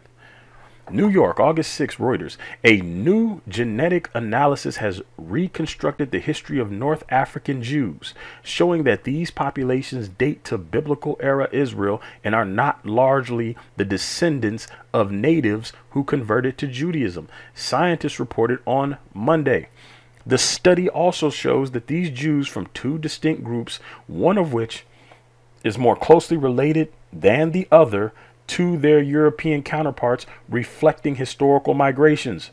Here we go. The findings are the latest in a series of, genet- series of genetic studies which began in the 90s. It is now 2022 indicating that the world's Jews share biological roots, not just cultural and religious ties. What did they say? Biological roots. And we looked at my DNA, it had all the same common ancestry as the Sephardic Jews, the Mizrahi, Beta Israel, and the Ashkenazi. And yet, Damon Richardson will tell people that I'm a fake black Israelite. let's keep going. In many cases, the analysis have confirmed what scholars had gleaned from archaeological finds and historical accounts. This work demonstrates a shared genetic history among the Jews of North Africa and strengthens the case for biological basis for Jewishness, said medical geneticist Harry Ostrer of the Albert Einstein College of Medicine in in New York who led the study. Now, it's interesting that Damon Richardson doesn't bring up North African Jewishness specifically. Why? Because it's going to lead to some other things. And he didn't even talk about all of the findings in the book, which leads me to believe that Damon Richardson is a deceiver. Do me a favor, source count. Said medical gener- geneticist Harry Ostrer of Albert Einstein College of Medicine in New York, who led the study. Now, this is the same Harry Ostrer that we, we were just talking about, the one that Damon Richardson chose to bring up. For the new analysis published in the Proceedings of the National Academy of Sciences, Ostrer and his colleagues examined the genomes of 509 Jews and 11 11 non Jews from North Africa, which is home to the second largest Jewish diaspora. Only the European diaspora, which includes American Jews, is larger. So, the second largest population of the Jewish diaspora is found in Africa. So, let me give you a, a, um, a little bit of a visual to show you how close North Africa is to West Africa, because this is going to come into play in Damon Richardson's argument in a minute. So now what I did was I pulled up a, a map of sub-Saharan Africa because they use this imaginary boundary line to separate sub uh, North Africa here, this gray part, North Africa, into and sub-Saharan Africa. They use an invisible boundary line. They say this is North Africa, this is sub-Saharan Africa, and they act like the people didn't cross, which is why I showed you over here at 23 and Me. When you look at the paternal haplogroup, people did cross out of what they call sub-Saharan Africa and went all through North Africa, all through the Middle East, up into Asia and into Europe. So this is why I showed that. So now North Africa is here, and then West Africa is right here. Just a hop, skip, and a jump. Timbuktu is over here in Mali, and we know that there were Jews in Timbuktu. So you have Jews all through North Africa. You're going to find them in Timbuktu, and we're going to look at some sources that say they're all down here, all in here. They were all in here, all over in here. But let's keep going. This genetic study says right here the scientists found that the Jewish populations of North Africa, uh, uh, let me see.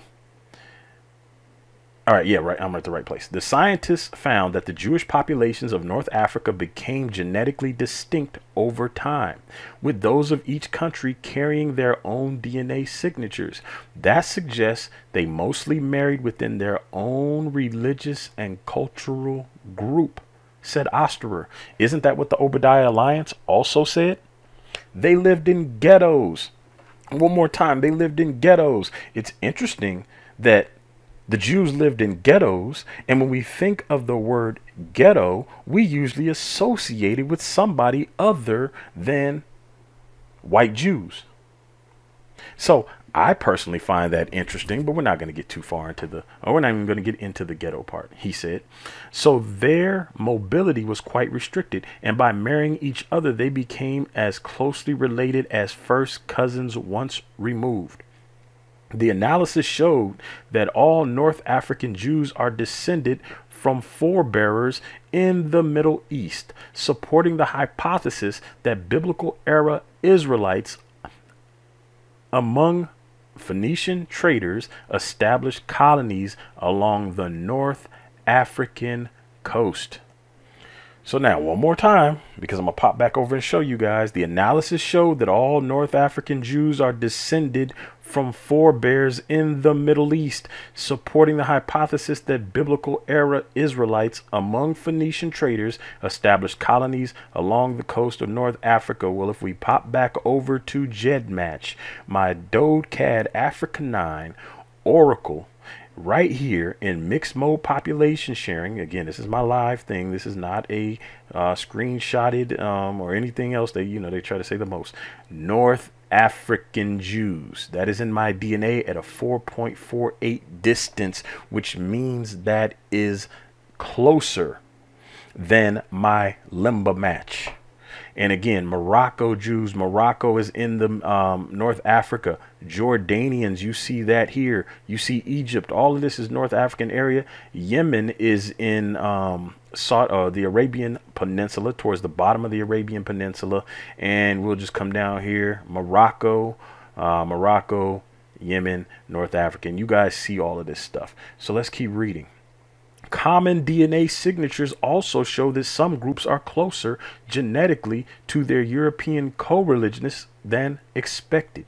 That suggests a shared set of founders, said Ostrer, presumably Jews from the Middle East who migrated west. One more time, presumably Jews from the Middle East who migrated west. That's interesting because the most recent 2022 information from 23andMe shows that this, you know, they migrated up out of here. But let's let's look at something real quick. So if they were from the Middle East over here and they migrated west, where would they have migrated? So if you go up, that's north, to the right is east, down is south, and to the left is west. The only way they could have gone out of the Middle East and gone west is into Africa. And yet, that was not the main point of Damon Richardson's discussion on Berean TV. It wasn't to emphasize that these people went into Africa, because then he's going to be presented with a problem, because then we're going to get to the Spain and Portugal stuff. We got some stuff coming. And again, some of you guys have heard some of this stuff already. Some of you are new to this information, and you need to be aware that there are people out there like Damon Richardson's who has the intent to deceive people because he's pushing a narrative. He's anti Semitic and he is basing who and who is not Jewish on skin color. But you're going to see him talk crazy about. I'll show you. I'm not going to get. I'm not going to get ahead of myself. Let's keep going. If Jewish populations in North Africa and Europe shared ancestors, then Sephardic Jews who settled in Africa after being expelled from Spain during the Inquisition originated in North Africa more than a thousand years earlier. The Sephardic Jews, or Portuguese Jews, or black Jews, or black Portuguese Jews show significant North African ancestry, said Ostrer that could reflect bidirectional or um, two directional migrations to and from Africa and Europe over the centuries. Now, remember, this is from 2012. And the reason I'm reading this because I want to show you something immediately after this. DNA evidence lends credence to accounts that in 312 BC, Egypt's king settled Jews in Cyrenaica or Cyrenaica that it what is now Tunisia. So now if we pop on over here to this map, we see Tunisia is right here in Africa. Let's keep reading. According to the Jewish historian Josephus, born in AD 37, by the first century AD, there were 500,000 Jews there. So half a million Jews in Africa, and they want us to pretend like they didn't migrate nowhere down into sub Saharan Africa or West Africa. But we'll keep reading. The DNA that Tunisian Jews share with those of the Middle East supports a of the Middle East supports accounts that after the destruction of the Second Temple in Jerusalem in AD 70, 30,000 Jews were deported to Carthage in what is now Tunisia. So 30,000 Jews were deported into Africa. And again, Damon Richardson is the one that brought this source to the table. He wanted to name Harry Ostrer. I'm just going through looking at all the information. North African Jews fall into two genetically distinct groups those of Morocco and Algeria and those of Tunisia and Libya. Now I want to pop right back over here to Blacks, Jews, the Religious Challenge, the source from Cambridge. We already have it, so don't count it. It's already been counted. What did it say right here? In southern Nigeria, the natives called black Jews, the strange people in the Imo Yokwayim. They are called the B'nai Ephraim, the sons of Ephraim. They claim that their ancestors came from Morocco.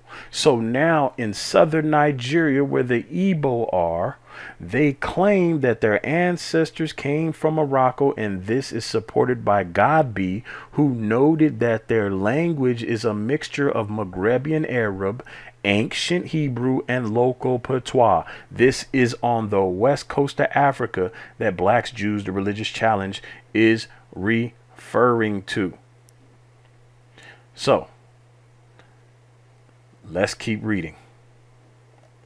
North African Jews fall into two genetically distinct group those of Morocco and Algeria and those of Tunisia and Libya. Tunisia and Libya are both in Africa. The former are more closely related to Europeans, suggesting that when the Sephardic Jews were expelled from Spain in 1492 and from Portugal in 1497, most of those escaping to North Africa put down stakes in the first lands they reached rather than traveling farther east. So let's look at the map again.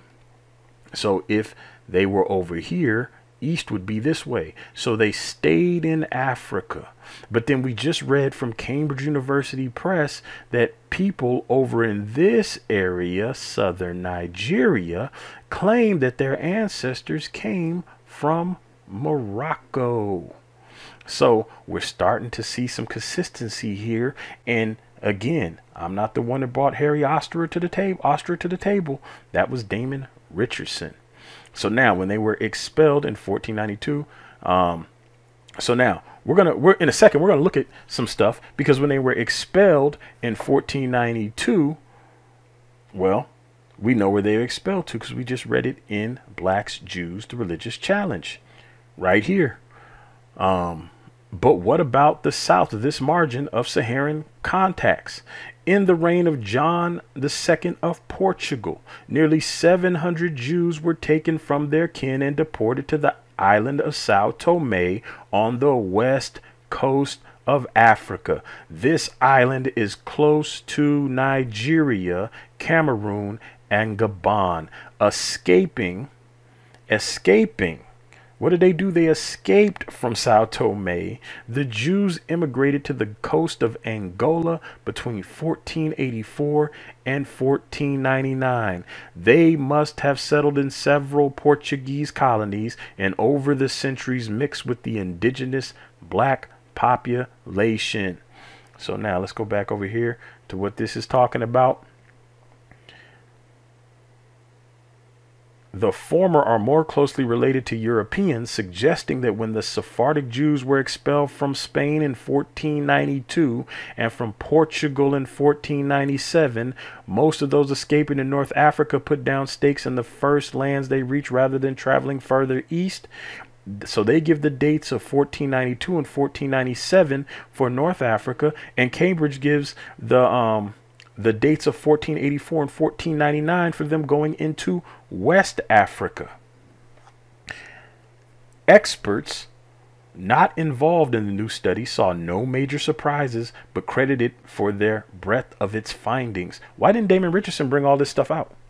What's new here is the inclusion of several Jewish communities whose DNA had not been studied before, though, and, such as those of Tunisia and Georgia, said geneticist Marcus Feldman of Stanford University, co author of a 2009 study that found significant genetic similarity between European and Middle Eastern Jews, including Georgian Jews, led to one surprise that they are closely related to those of the Middle East, including, including those in Iraq and Iran that shows there was significant migration of Jewish populations along the Silk Road, beginning in the Persian Empire, said Ostrer. Just a small number of founders started Jewish communities in India, India, Burma, and Georgia. The Jews of Ethiopia or Beta Israel are so distinctly related to other Jews that their community must have been founded by only a few itinerants who converted local people to Judaism and then married within the local population. It also suggests the founding was more than 2,000 years ago. We're not even going to get into the extensive Ethiopian Jewish history right here. That antiquity helps explain why Ethiopian Jews airlifted to Israel during Operation Moses in 1984 had no idea about the holiday of Hanukkah, which commemorates events of the second century BC, long after their ancestors had left Israel. So, in Africa, Ethiopia specifically, it predates all of the stuff that they are talking about in what they call modern day Israel. They're saying they left long before that and they ended up in Ethiopia. So they're still in Africa. So now let's look at something else. I want to show you guys something else. Now remember the dates here. That book was published in May of 2012. This article comes out August 6th of 2012. This is the article or this um this article is based on Ostrer's book which Damon Richardson brought to the table. Source count, please. All right, so now here's what we're looking at. This is messianicbible.com. We're just going to look at this real real quick. Leadership team. Chaim Goldstein, Communication Coordinator, Mike Fair, President, Board of Directors, Eliza Nesher Epstein, Donor Relations. What we do, first and foremost, our mission is ministering to Jewish people with love and comfort. Located in the Holy Land, the Bibles for Israel Ministry is producing the first ever messianic prophecy Bible. So, this is a Jewish website created by Jewish people and it is located in Israel. So, what do they say? This link will be in the description. We'll start reading here. This line of rulers survived the Islamic invasions of the region but came to an end with the Arab conquest of Baghdad in AD 1040. The descendants of the exilarchs spread out across Mesopotamia, the Levant, Egypt, and the Mediterranean basin, looking for new lands where they could live as Jews. While some remained in Spain, Portugal, France, and Italy, others later moved into other parts of Europe. During these times, they separated into Ashkenazi, Sephardi, and other groups. Now, what's interesting right here is you have this map. Let me move this out of my way. They have this map right here showing where they went. You have them over here to the Americas. You have them in the North Africa, Libya, throughout the Middle East. We, we saw the genetics that showed that E came up through here, or EM34 is going to originate over here, but E came up and through here and all around up in here. That's how we see um, from 23andMe. So right here it says the American colonies opened up new frontiers for the Ashkenazi and Sephardic exiles. The first wave of Jewish migrants were Sephardic black Jews coming to the colonies from Spain, Portugal, Africa, and the Middle East in the early 1600s. By the 17 by 1730, Ashkenazi Jews from Eastern Europe, Germany, and France outnumbered the Sephardim. By 1924, the large migrations of Jews to America came to an end. So now they came out of Spain, Portugal, Africa, and the Middle East. And popping right back over here to the Obadiah Alliance. Why do I keep saying Sephardic Jews are black? Um, it says he comes from a long line of Sephardic families from Spain. You can tell he looks like us. I mean, people people want to play and act like the Sephardic Jews didn't look like us, but he looks like us, and he's a Sephardic Jew. Do me a favor and give me a source count please. This is by A. Barrington, published in 1851. It is called A Treatise on Physical Geography, comprising hydrology, geognosy, geology, meteorology, botany, zoology, and anthropology. And we're going to read from page 297. We're going to read from right here, and I'm going to read down because this ties in exactly what we're talking about. It says they are all unquestionably of one race, and yet as we move from around the lake southward, they become darker and darker till in the plains of Orinoco and the Amazon they are nearly black, while on while on the cool and humid shores of the Pacific they are found fairer than many Europeans, and their cheeks frequently displayed the ruddy hue common among white men. On the elevated mountain and tablelands of South America, the hue is much lighter than in the plains. We are well aware that it has been repeatedly stated that American Indians are all of one hue. Such assertions could be proceeded only from theorists who had either a very limited or no acquaintance with them. The Arab tribes also exhibit a great variety of hues from black from the black of the Maghreb or the Maghreb of the Sahara and the dark brown of the Shigaya or the native of Oman. Let me uh let me make this bigger. Give me a second here. Let me enlarge this so you guys can see it and I can read it easier. All right. Let me see right about All right or the native of Oman, to the comparatively comparatively fair hue of the Arab of Lebanon. The answer to such facts is intermixture. But the other features often show that there has been no intermixture. Thus, the Maghreb Arab shows by his features, hair, and general expression that he is not blackened by being partly of Negro descent. There is another fact which proves that the answer of intermixture is unsatisfactory. Now they they'll tell you um, these people were scattered all over the world and they, they look different because they are mixed. You'll hear the urban apologists say this. Where change of complexion is produced, as it is oft as it often is by intermixture, there is only an approximation to either of the colors. Thus, the mulatto is never as black as the Negro. Now, in some cases we have men mentioned, there's a complete similarity of hue. The argument from intermixture is further rebutted by historic knowledge. Thus, the Jews are a people who have ever, according to the prophecy, dwelt alone, without intermixing into the nations to this day. So, yet, when we hear from these Christian urban apologists, they always try to make the argument that Israel's a mixed multitude, and yet we have seen the Obadiah Alliance in February of 2022 saying that they didn't mix. We see um, Cambridge University is going to say they didn't intermix, and here on the Treatise of Physical Geography, published in the 1800s, is saying they did not intermix with the nations.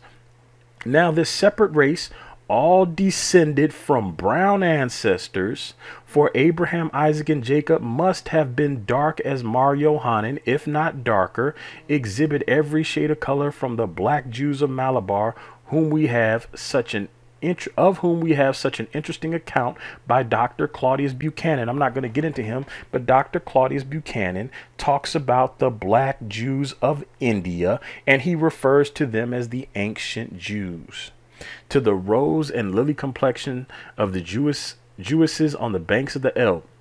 We need go no further than the Jews of southern Spain and compare them with those of Holland and northern Germany to perceive a very striking difference. The Spanish Jew is always dark complexioned. Sometimes, no, always.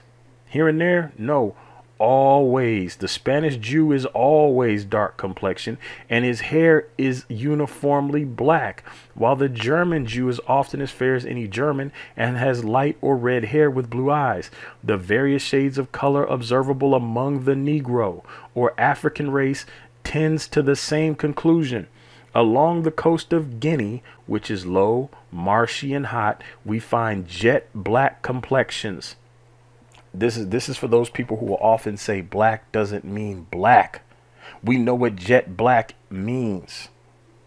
This is the very country from which American Negroes have been derived.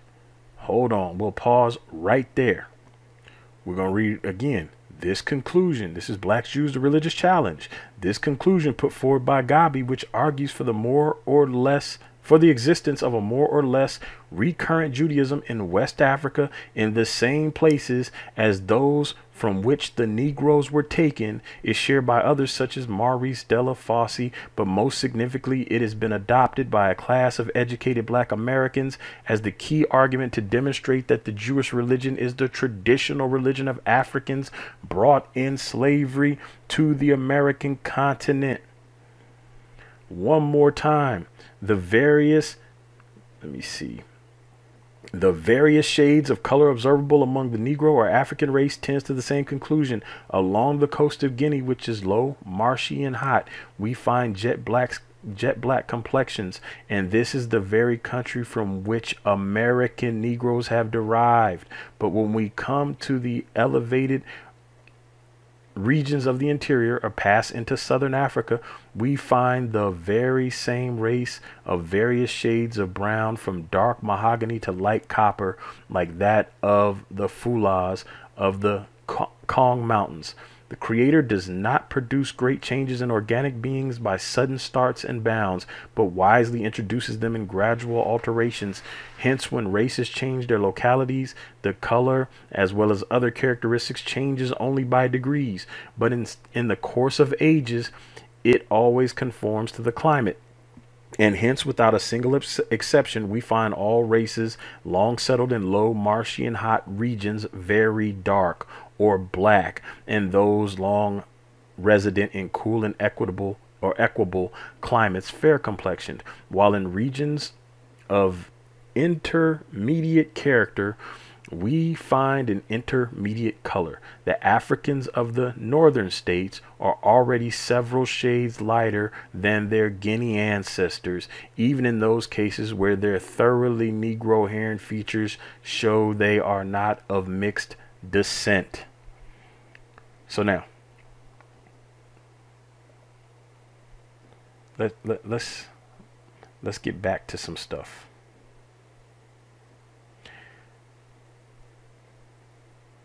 We just covered this right here, 2012. Uh, I'm, I'm, pointing this out again for a reason. 2012, uh, we just covered this article, 2012, referring to Harry Ostrer. So now, I want to bring us to here. October of 2013. A year later. New genetic study traces Ashkenazi roots to prehistoric Europe, not the Middle East. Interesting. Did modern Jews originate in Italy? What's in Italy? Rome. Rome is in Italy. So anyway, let's Jewish family ties, new genetics research could shake up current assumptions about Ashkenazi origins. Now remember, well, you'll hear him in a minute. Damon Richardson is going to, and the reason I'm taking so long to explain some of this, because I'm just going to let some of the rest of his stuff play out. I'm not going to address certain things because it's all being addressed right now. He's going to say that we are anti Semitic. Anybody that says that, that these Ashkenazi and others are not Jewish, they're anti Semitic. We have heard Berean on Berean TV go crazy and talk about Israelites are calling all those other people fake. And yet, y'all tag Berean in this. I want them to hear my words word for word. I don't want nobody going back saying I said something I didn't say. We have not seen Berean present any scientific documentation that also says that a majority of these people are not Jews. He likes to point out that Israelites have said stuff, not every Israelite, but some, a lot of them, have said that a majority, some people have said all. I personally don't believe all of them are fakes. But he has not called out any scientific journal or group or anybody else that says these people are not who they say they are but they have a different energy. These urban apologists, Berean says he's not an urban apologist, but they have a different energy towards black people for saying some of the same things. So let's read what this says in 2013, a year later, after the after the source that Damon Richardson gave. Do me a favor, source count, please. Modern Jews may traditionally trace their ancestry to the Holy Land, but a new genetic study finds otherwise. So, this is after the 2012 book that was published, and this is going to name Harry Ostrer in it, which is why I'm bringing it up. Remember, Damon Richardson brought Harry Ostrer to the table. A new genetic study finds otherwise. A detailed look at thousands of genomes. Now remember, Harry Ostrer's did 500. A detailed look at thousands of genomes finds that Ashkenazim, who make up roughly 80% of the world's Jews, including 90% of those in America and half of those in Israel, ultimately came not from the Middle East, but from Western Europe, perhaps Italy. This isn't an Israelite saying this. This is from science.org. Right here, science. Oh, you can't see the dot .org, but this is from science.org. So if you have a certain energy for people saying that the majority of these people are not Jews, Make sure you keep that same energy towards science.org. Make sure you label them as anti Semitic for bringing out this information. We know they're not going to do that. So what they're going to do is they're because they're dishonest and they have to push a narrative, they're going to keep the focus about black Hebrew Israelites said this, black Hebrew Israelites said that. They're going to make it about race. This is why they keep throwing the black in there. That's why Damon Richardson says fake black Israelites. He's basing it solely on skin color because he doesn't know any of us personally. As you guys saw, my DNA debunks everything he has said so far. My DNA alone, but we're we're still pulling up stuff. Most mainstream historians regard Ashkenazim as the descendants of Jews who moved into Central Europe from the Middle East sometime before the 12th century CE, or AD for those who prefer that. Ashkenazim, like most members of this religion, religious, cultural, and ethnic group, traditionally trace their ancestry to the ancient Israelites. The Israelites, in turn, arose between 3,000 and 4,000 years ago in the Middle East, according to both biblical sources and archaeological evidence. They dispersed after the Romans destroyed their second temple in Jerusalem in 70 CE or AD. Recent genetic work has supported this traditional view. Two studies, one led by geneticist Harry Ostrer of the New York University School of Medicine. So that's who Damon Richardson brought to the table. So now they're naming his guy in a newer, updated study that came out about a year and a half later. and the other by geneticist Doron Behar of the Rambam Health Care Campus in Haifa, Israel, traced the three main diaspora groups Ashkenazim, Sephardim from Spain and Portugal, and Oriental Jews from the Middle East to people who all lived in the Middle East about 2,000 years ago. The Ostrer study used DNA from the nucleus of the cell in its analysis, and the Behar study used both nuclear and mitochondrial DNA, or mtDNA. The latter comes from tiny bodies in the living cell that provided with energy. Many other researchers considered these results to be definitive at the time. And this is what Damon Richardson is presenting in 2022 a study from 2012 that is challenged almost a year and a half later, and yet Damon Richardson neglected to tell the audience that the source he was presenting was old and outdated information that used fewer samples than the study that was put out a year and a half later. It is fully remedial hour over wherever Damon Richardson is, on whatever channel he's on, it is remedial hour over there. Let's let's keep reading. Yet there were lingering questions. Ostrer and Behar had samples from only a group of hundred, only a couple hundred Jews. They said 500, um, where we just read. For example, and while the Behar group identified four major mtDNA founder groups for the Ashkenazim, all supposedly with roots in the Middle East, it was able to trace only about 40% of Ashkenazi ancestry overall. Why didn't Damon Richardson present this information when he was on Berean TV acting completely smug and, and, words I won't even use toward the audience just because they were black and Israelite and trying to share information. Y'all will see how he acts in a minute. I'm gonna show y'all some video. I'm gonna let him talk because most of his points are being addressed right now. So, a different team of scientists, a different team of scientists, led by geneticist Martin Richards at the University of Huddersfield in the United Kingdom, embarked on a new search for the origins of these four founder groups. The team focused on mtDNA, which is often employed in genetic studies because it is easier to sequence and allows analysis of huge population samples. However, mtDNA is inherited through the mother and not the father, so it reveals the history of maternal lineages only. Now, this is where this study gets interesting and ironic, and this is where it shuts Damon Richardson's whole smug attitude up.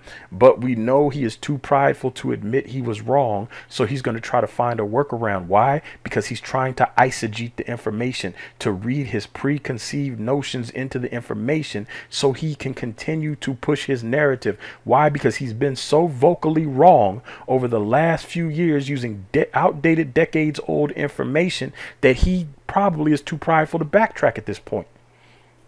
So instead of just coming out and admitting he was wrong, he didn't get the information right, he didn't share some information. A year and a half later, there was updated information that he ignored or, or intentionally um, just didn't mention, which is deception. He's going to try to find a way to justify instead of just apologizing and telling people he's been wrong this whole time. He's been giving them outdated information. So it goes to the maternal lineages only, and this is why it's ironic. We're going to see genetic, and, and, and just so you know, Ashkenazi Jews trace everything through the maternal lineage. They don't trace through the father; they trace through the mother. So now this study only goes into maternal lineages. Geneticists have identified certain mtDNA markers that define lineages in different parts of the world. Behar's group had traced the Jewish founder groups to two mtDNA genetic lineages called haplogroup K and haplogroup N1b. The Jewish lineages were nested within these two larger groups, which include both Jews and non Jews. So Richards and his colleagues first set out to understand the history of these broader lineages. They analyzed about 2,500 complete and 28,000 partial mtDNA genomes of mostly non Jews worldwide.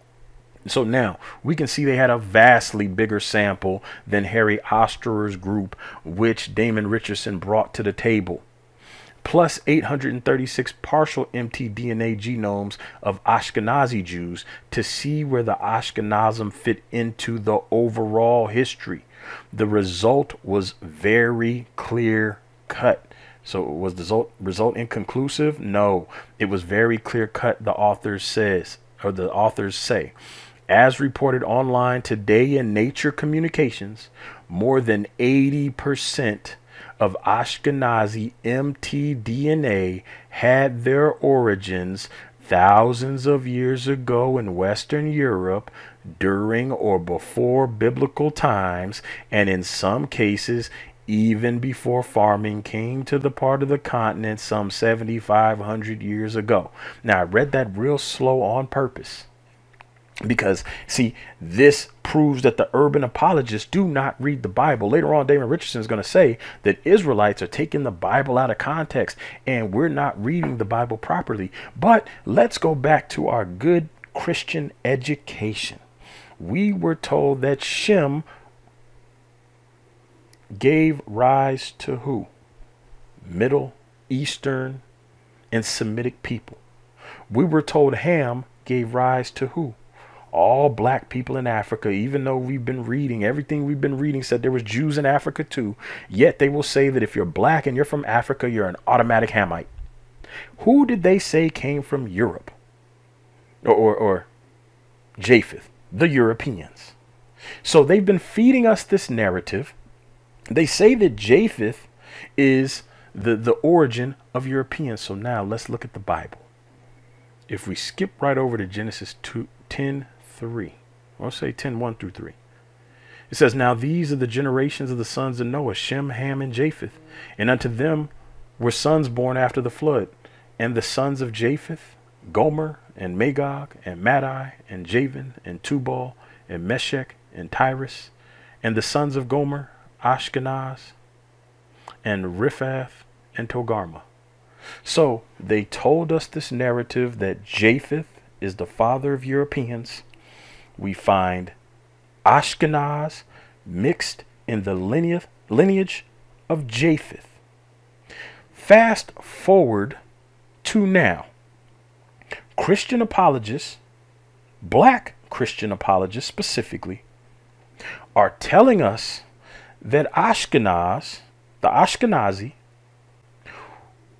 are really Jews that took on the name of Ashkenaz and that they are the real Jews and that if black Jews are real, it's because they were converts. But Ashkenaz is, is really the Jews, according to these black urban apologists specifically.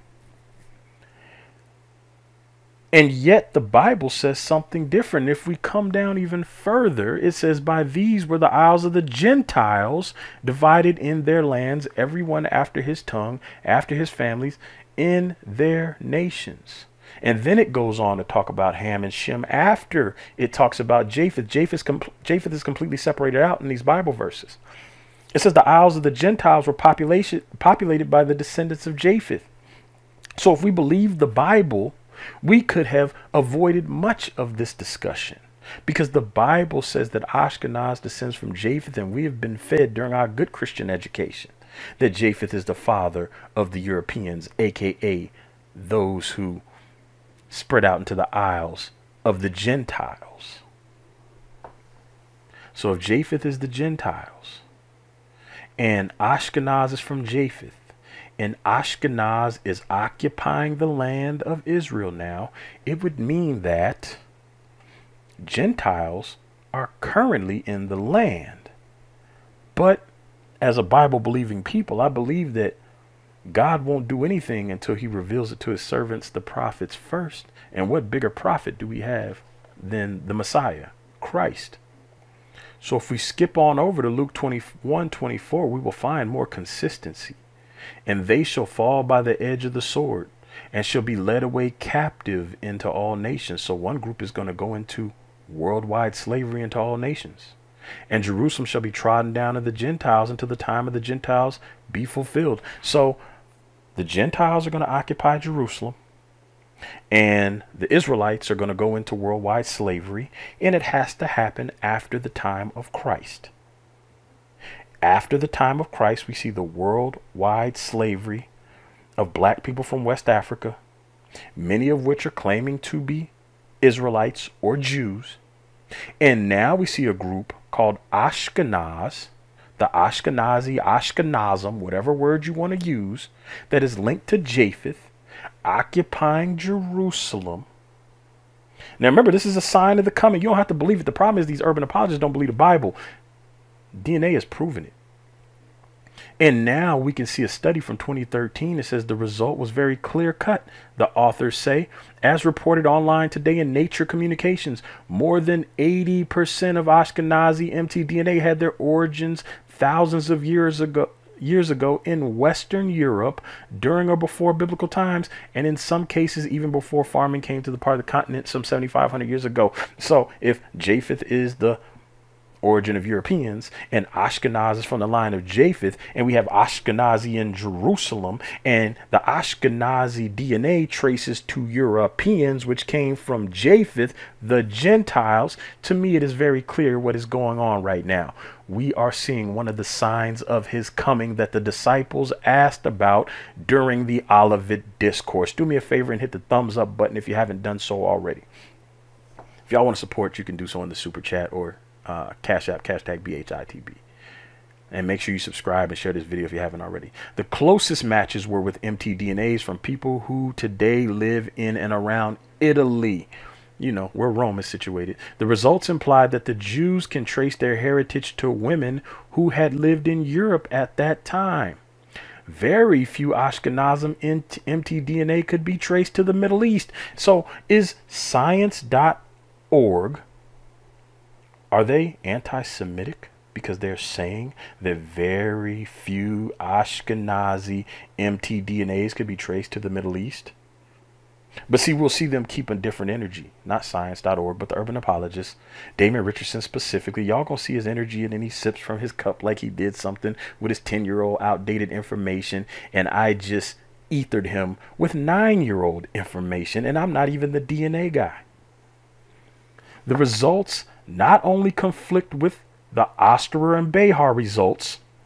Oops, guess Damon Richardson shouldn't have brought up that that source, but also with the widespread assumptions about Jewish identity. Jews have traditionally considered that the mother determines the ethnic identity of her children.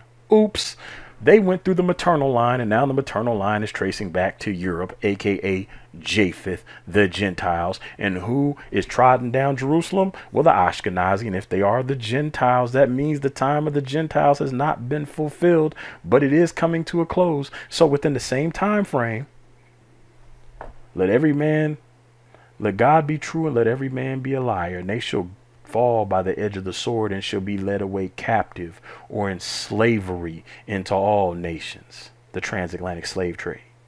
And Jerusalem shall be trodden down of the Gentiles until the time of the Gentiles be fulfilled. Look at who's in the land now and look at their DNA. So uh, I'm I'm gonna let me let me keep reading. So Berean, I, I hope Berean keeps the same energy about science.org as he's been keeping when he when he says that black Hebrew Israelites or or us questionable Israelites. He didn't call us all kind of things. But when he keeps that energy towards those of us who have said not all of them are Jews, genetically, they may be converts. Fine with me. I don't, I don't mind if they're converts. But let's not lie let's not lie because you're afraid of being called anti Semitic or rocking the boat or offending somebody. Let God be true and let every man be a liar. If we are looking at the fulfillment of Bible prophecy, if we are looking at a move of the Most High, this will not be stopped. And as y'all can see, it cannot be stopped. Even Farrakhan is weighing in on it. Farrakhan is a Muslim, and Farrakhan believes that we are the people. He said it many times you're starting to see more people interested in this subject because they want to shut down and silence people like Kyrie Irving, Kanye West. They want to get Ron Dalton's um, documentary removed from Amazon. Shout out to Ron Dalton. Y'all know I was previously adamant about not dealing with Ron Dalton. However, when it comes down to it, if they come for him, they'll eventually come for me and everybody else. So it is in the best, our best interest in self preservation. It is in our best interest to set aside our differences and, and, and come together and push out this information. Because if they want to debunk it, fine. Go to science.org, get them to print a retraction. Don't come to me. Go to science.org, get them to print a retraction. Let me keep reading. The results not only conflict with the Ostrer and Behar results, but also with widespread assumptions about Jewish identity. Jews have traditionally considered that the mother determines the ethnic identity of her children. If being Jewish is defined as genetically descending from Israelites through the maternal line, then many Ashkenazi Jews fail the test according to this data. One more time if being Jewish is defined as genetically descending from the Israelites through the maternal line, then many Ashkenazi Jews fail the test according to this data. Richards acknowledges that the work is likely to be controversial.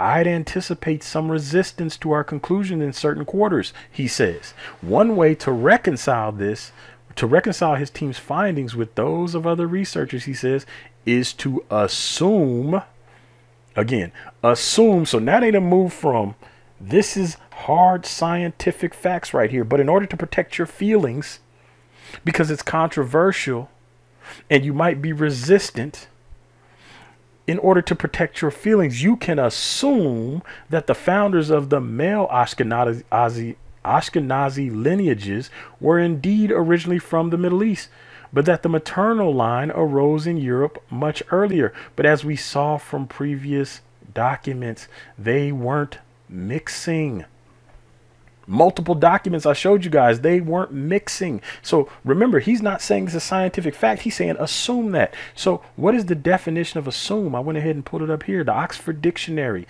Oxford, I assume, is credible because the source that Damon Richardson shared for Harry Ostrer was published by Oxford University Press. So I'm going to go to the Oxford Dictionary for the definition of assume. Supposed to be the case without proof supposed to be the case without proof. It is reasonable to assume that such changes have significant social effects. That's the example. One more time. Supposed to be the case without proof. Now, let me come back up here. There we go. So now, he says one way to reconcile his team's findings with those of other researchers, he said, is, he says, is to assume or supposed to be the case without proof that the founders of the male Ashkenazi, Ashkenazi lineages were indeed originally from the Middle East, but that the maternal line rose in Europe much later. The European women then converted to Judaism. Wait, they're, now they're saying these people are converts. See, now, so, so in order to get Ashkenazi Jews, you can't go through the maternal line, which is what they say. Then you have to suppose to be the case without proof that the fathers were from the Middle East. And the European women then converted to Judaism after male Jews moved into the continent, establishing the Ashkenazi lineages that we see today. And again, remember, he said you have to assume this. That suggestion fits with the contention of some historians that many women converted to Judaism across Mediterranean Europe during the so called Hellenistic period between about 300 BC and 30 BCE.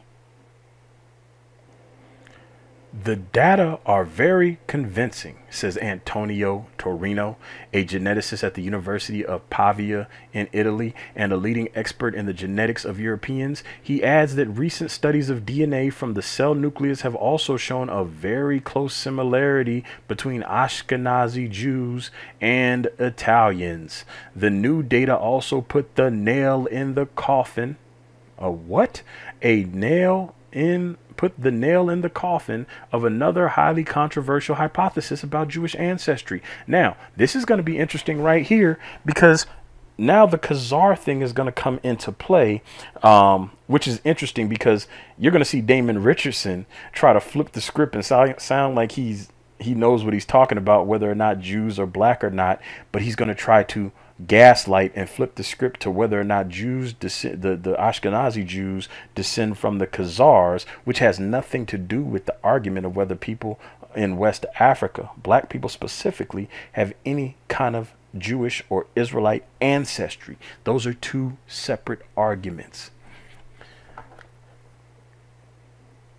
That the Ashkenazim actually descended from the Khazars, a Turkic people in Western Asia's Caucasus region whose rulers are known to have converted to Judaism in the 8th century CE. That idea was promoted in a 2008 book by historian Shlomo Sand of Tel Aviv University in Israel. So somebody from Israel, Shlomo Sand, put out a book um, saying that they were Khazars. But we also have Arthur Koestler's book, The 13th Tribe. And there are other Jewish people who have presented history and said that they descend from the Khazars. That idea, uh, I read that part right here.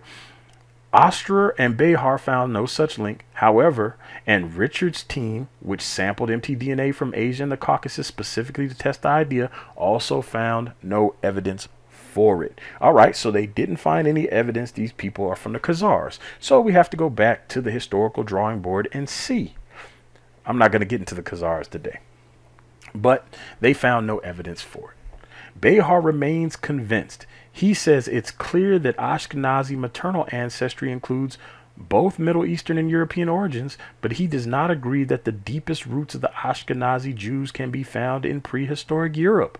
He says that he and his colleagues will be submitting their critique of the Richard study soon to a peer reviewed scientific journal. So now, this link to the Middle East, where would that come from? Well, if we go back to 23andMe, we see that this comes all the way back up into here into North Africa, the EM34 stuff. There's a link. So now, let's go back here. So where was this quoting from? This is quoting from nature.com. You guys can go uh, read this. I'm not going to read all of this. I'll just read a little bit of this and we're going to keep moving. Source, source count please. The origins of Ashkenazi Jews. The great majority of living Jews remain highly contested and enigmatic to this day. The Ashkenazim are Jews with a recent ancestry in Central and Eastern Europe, in contrast to Sephardim with an ancestry in Iberia, followed by exile after 1492, Mizrahim, who always resided in the Near East, and North African Jews, comprising both Sephardim and Mizrahim. Ain't that what Damon Richardson that's the groups he named. Let me let me go through and read this again. All of the major Jewish groups, i.e., Ashkenazi, Sephardic, Mizrahi, and Beta Israel, are share common origin and no contribution from the Khazars. Every genetic study that's ever been done. Now this is him talking. He and he says this as he's presenting information from 2012 by the way he he wants the listeners to believe that he is up on the latest information, but really the information is decades old. And he says every, I just want y'all to hear how ridiculous this is. This is why I, I, I went through the links I did to write down his exact words. Every genetic study that has ever been done found that all of these groups share common genetics. All of the representative groups that are Jewish, that are Hebrew Israelite, share these genetics, and yet we find me who is a descendant of the Igbo people in West Africa, shares these same genetics with these same groups. And yet Damon Richardson has called me a fake black Israelite. Why? Based solely on my skin color. Why? It's because he's a racist and he's anti Semitic. Let's see here. Where we stop? There is a consensus that all Jewish diaspora groups, including the Ashkenazim, trace their history at least in part to the Levant 2,000 to 3,000 years ago. There were diaspora communities throughout the Mediterranean, throughout Mediterranean Europe and the Near East for several centuries prior to the destruction of the Second Temple in Jerusalem in 70 CE or AD. And some scholars suggest that their scale implies proselytism and wide scale conversion, although this view is very controversial. So now, you guys can go through and read this. It touches on the Khazars. So I'm not going to read all of this, but this is very long. So I, I want to see if Berean keeps the same energy towards nature.com, towards science.org, as he kept towards Israelites who said that Either the majority or all of these Ashkenazi are not who they claim to be. Did I did I ask for source count on this? I think I did. Source count for this one right here, please. This is again. Gene suggests European women at tree of Ashkenazi family or at root of Ashkenazi family tree. And I'll just read this first because it's basically going over the the same study we just um, read.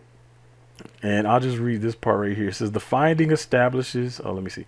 A new genetic analysis has now filled in another piece of the origins puzzle pointing to European women as the principal female founders to the Jewish community of the early Roman Empire as the possible source of the Ashkenazi ancestors.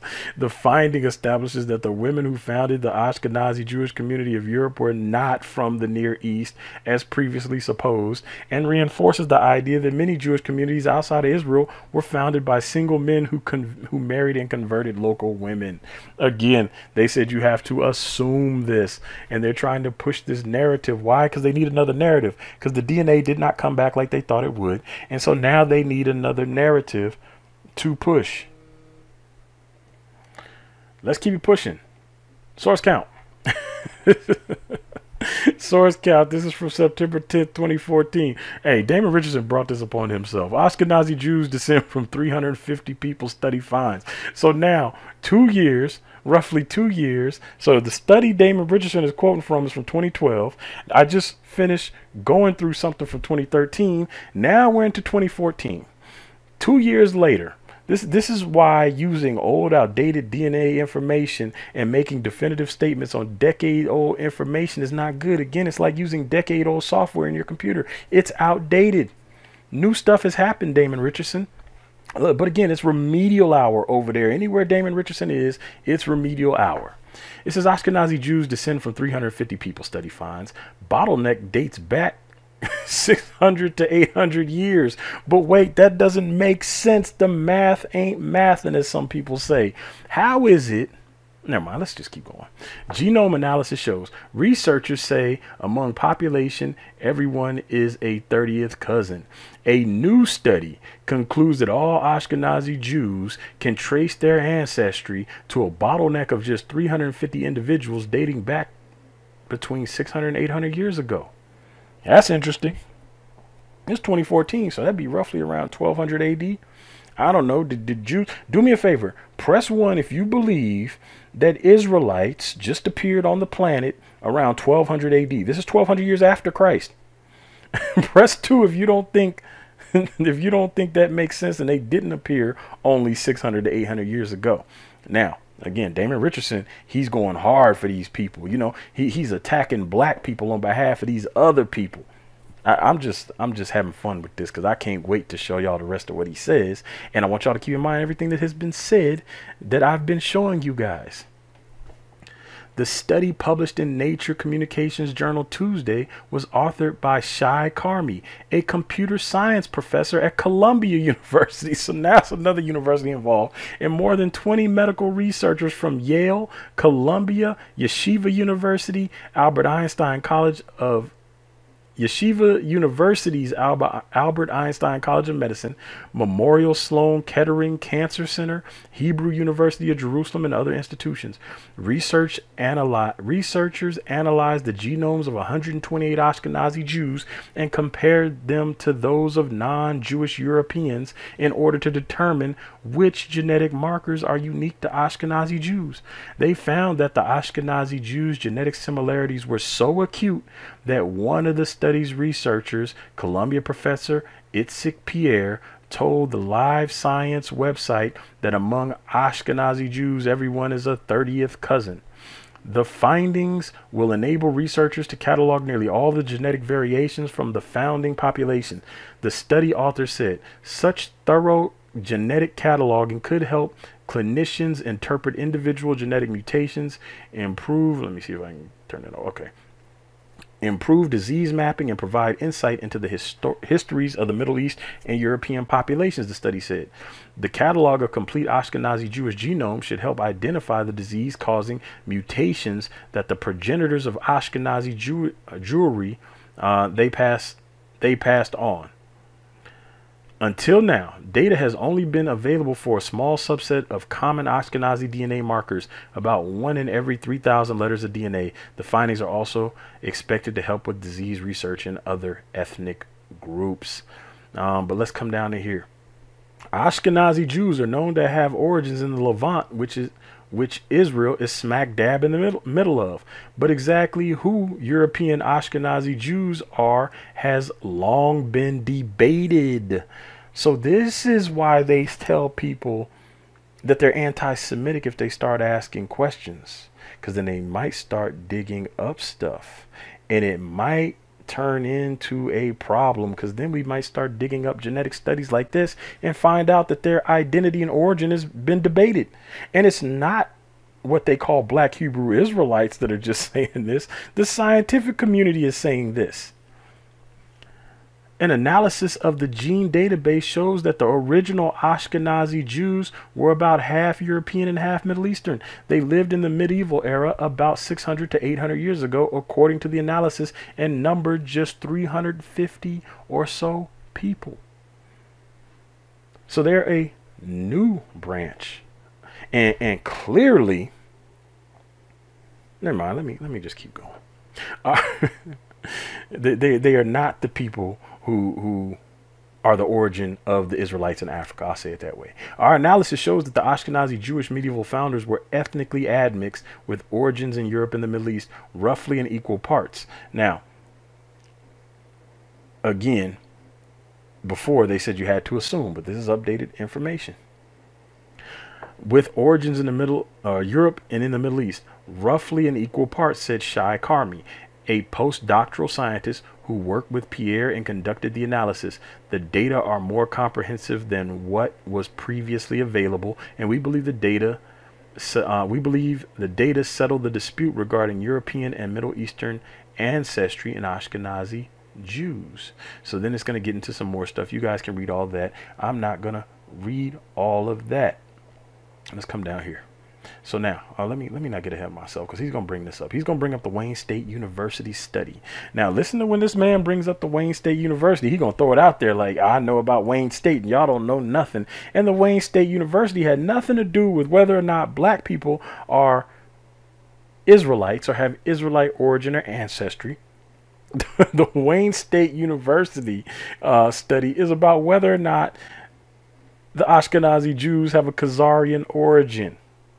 It literally had nothing to do with the conversation, but what he's doing is he's trying to show that he is more knowledgeable about the subject. So he's throwing out random, obscure studies that have nothing to do with what he's talking about in order to sound more intelligent. So let's hear Damon Richardson keep talking. Source count, please.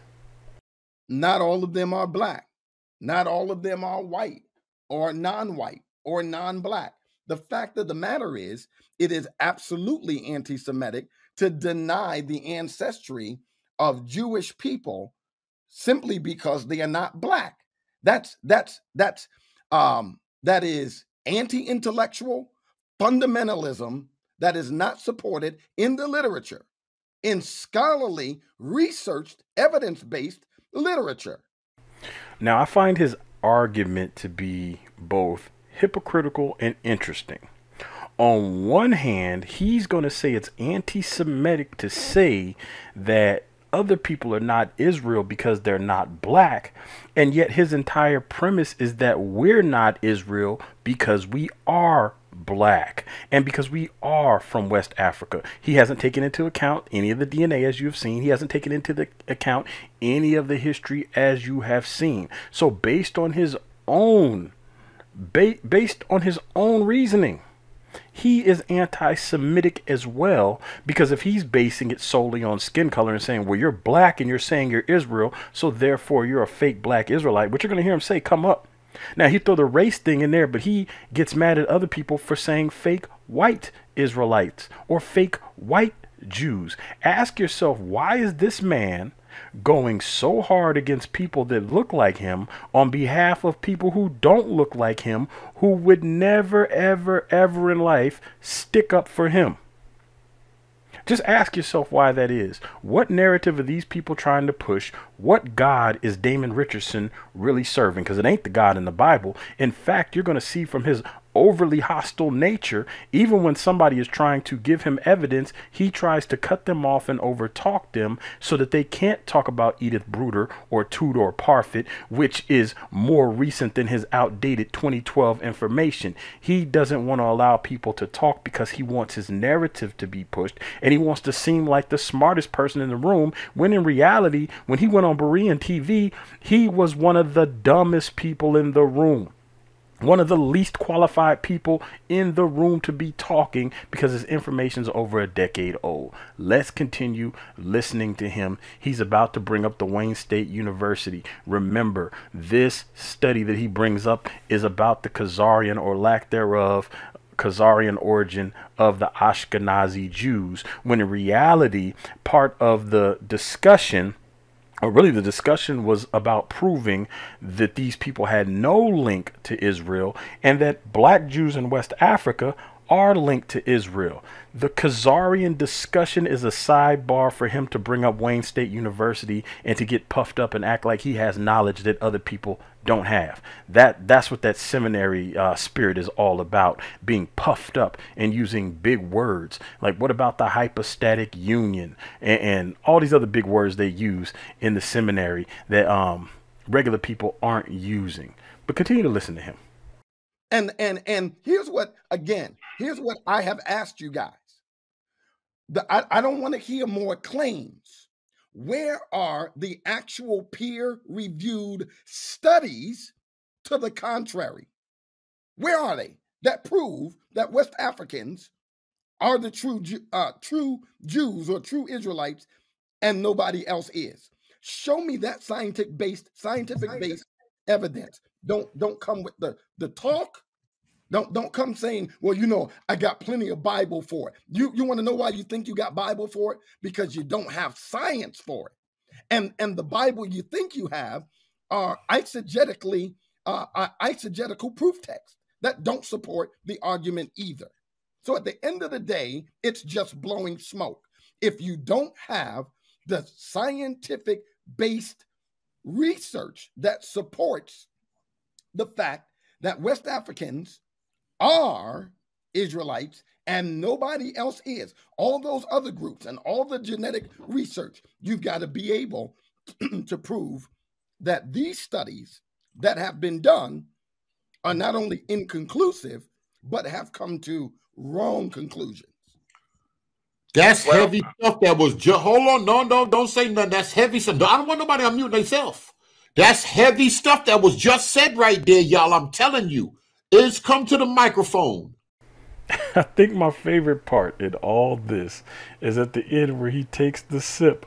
I'm gonna show you guys something at the end of this. You guys, man, this is hilarious stuff. Um, but this this was not heavy stuff. This was not heavy stuff at all. Berean, stop playing. Freemasonry, Freemasonry, cults, conspiracy, Illuminati, Berean, that is your wheelhouse. However, do not puff up this man's head by telling him he just dropped some heavy stuff as he sips from his cup, knowing he just dropped outdated information, decade old, outdated information. This is part of the reason I don't even come on the channel no more. I have realized a long time ago that we are so far ahead of the urban apologist information that it's no reason to even get on there and debate with them. Why? Because they're running with old, outdated information and presenting it to people as if it's current, modern facts when we know it's not. The, the sources that I've shown you guys tonight these are just the tip of the iceberg. There are so many more sources on Black History in the Bible.com. Go on there, you'll see that this man is a fraud. He is remedial at best. I'll say it one more time. Damon Richardson is remedial at best. And if you guys think I'm talking to the urban apologist. If you think he's the best you have, then you are in trouble. That is why everybody right now is talking about what's going on. Damon Richardson is remedial at best. And if he is the best they got, then they have nothing. Let's keep listening.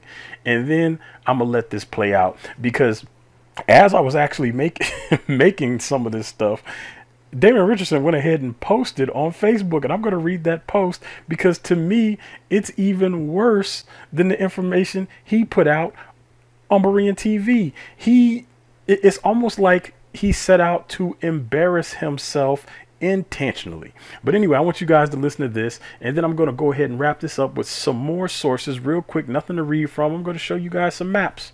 Not a whole bunch of maps, just a few maps, and I'm going to show you where they come from. And in addition to all the genetic information I presented, all the historical information I presented, there is so much more on blackhistoryinthebible.com. Do me a favor, hit the thumbs up button if you haven't done so already. And please hit the subscribe button and please share this video. Show these people that these urban apologists, they're nothing. They have nothing.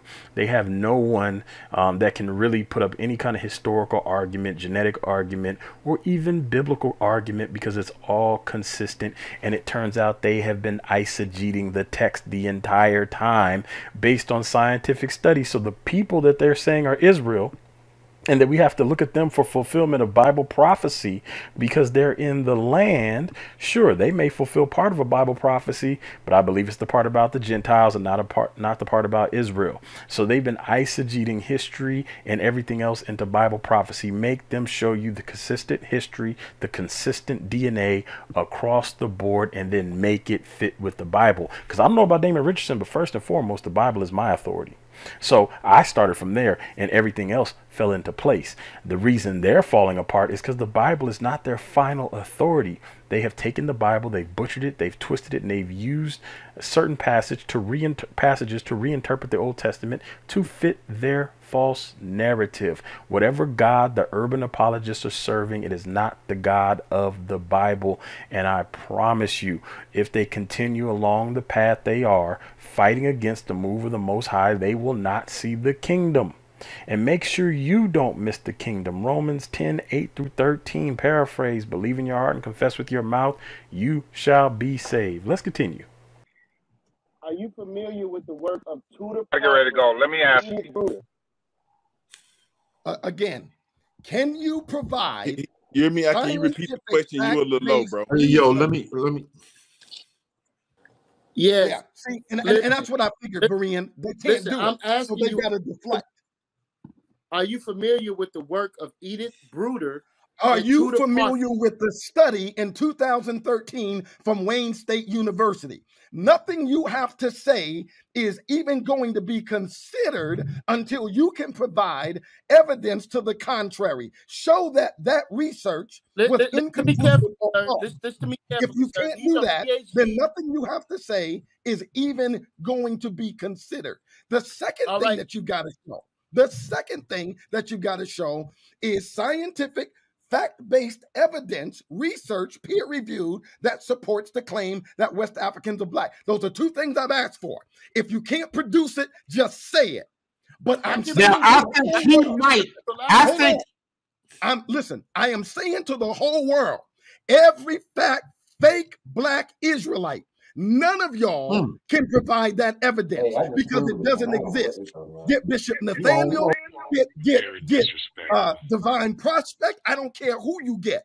Not a single one of them can provide that evidence. So you either bring it or admit that you don't have it. But those are the two things. Hold on. Those are the two things that you need to bring. I don't have nothing else to say to y'all. Here's the thing. I have nothing else to say until you can bring the evidence.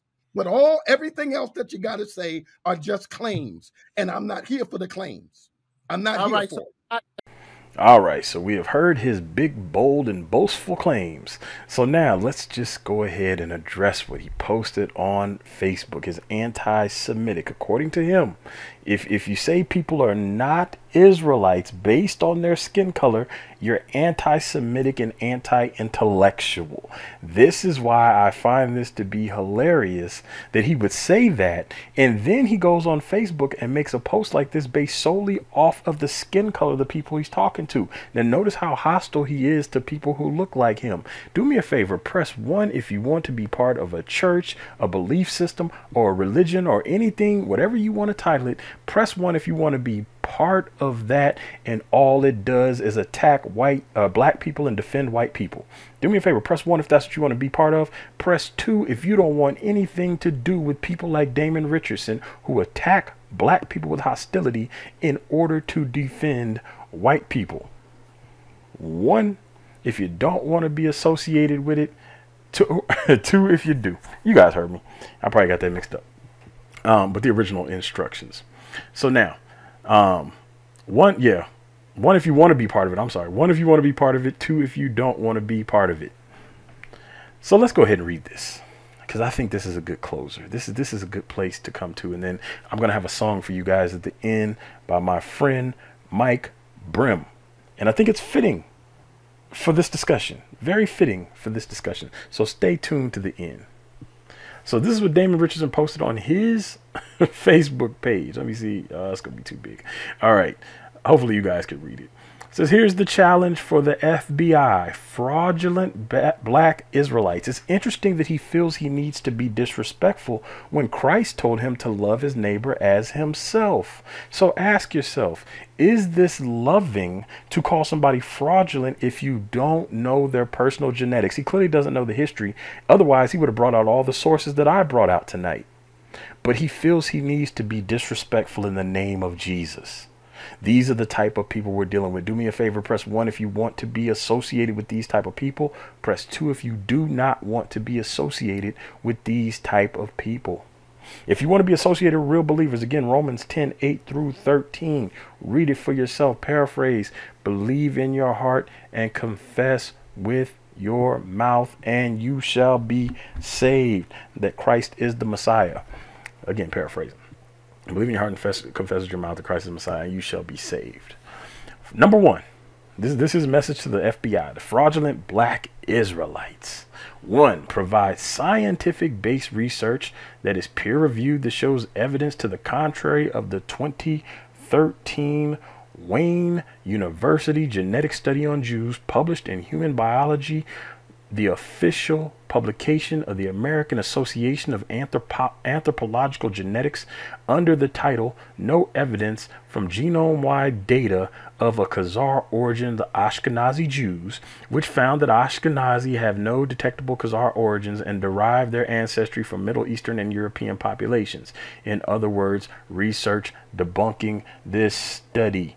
This is what he's talking about right here. Human biology, the official population of the American Association of Anthropological Genetics. This has nothing to do with the conversation whatsoever whether or not the Ashkenazi are from the Khazars. I showed you guys the scientific evidence. Science is questioning their origins and have been questioning their origins. So, Damon Richardson, how about instead of living in 2013 and 2012, you come up to 2022 and do your own research since you claim to be a researcher? Since you claim to be some kind of scholar and you want to bring forth all this information. How about you bring us some updated information on the scientific debate of where they are from? But we know he's not going to do that because then it'll lead him back to North Africa and then eventually to West Africa, as the sources show. University published sources. So if you have a problem with this or any of the other university published sources that I have shown today, then we also have to have a problem with your Oxford University press source. Yours does not hold more weight just because you like it more. Number two. So I feel like this right here is unnecessary. We don't need to prove that the Ashkenazi are Khazars. We just need to show you the scientific evidence, science, science.org and uh, nature.com. This says the majority of them are not Jews. Science said that, not me. Two, provide scientific based research that is peer reviewed that conclusively finds that West Africans are the descendants of common Jewish Israelite ancestors from whom they derive the majority of their DNA and ethnicity rather than from indigenous West African people groups, i.e., Congo, Western Bantu, Cameroon, Ghana, Nigeria, Mali, Senegal, Ivory Coast. In other words, research supporting the claim. Check and check. I've done that. You guys can go back and watch the rest of this video. This, the, the links to the sources will be in the description. Hit the thumbs up button, please. Links to the sources will be in the description. And you can go on blackhistoryinthebible.com and you can pull up the sources. Clearly, he has no interest in truth or factual information because all of the information I pulled up today, except for Blacks, Jews, the Religious Challenge, is freely available. To get Blacks, Jews, the Religious Challenge, you'll have to go to the link. And when you click the link, you'll have to sign up, but you can get a free account and you can access it. If you can't access it, the membership is $20 a month and you'll be able to access it. And again, all links will be in the description. So now let's go. Let's let's. I just I'm just moving down some so you guys can see it. I want you guys to see. This is from Damon Richardson 17 hours ago. This right here is further down. It says anything short of that, we have nothing to talk about as no scripture can be pointed to that states or suggests in any way that West Africans are Hebrews, as we are already terrible, terribly familiar with your eisegetical interpretations and poor handling of scripture. So he continues with the insults, which is which is why we give them back the energy that they give us. But in fact, they're the ones eisegeting the text, reading their own ideas into it, saying that no, you black people can't be Israelites, even though all the genetic information attaches you to those people over there in the Levant.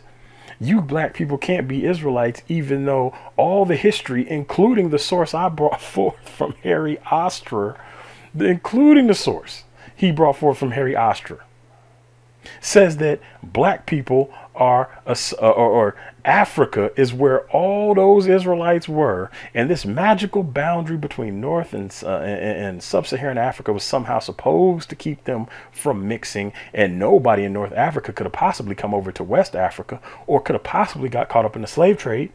This is their whole premise, and yet we keep finding information to the contrary. Let's look at the next screenshot as we continue to scroll down.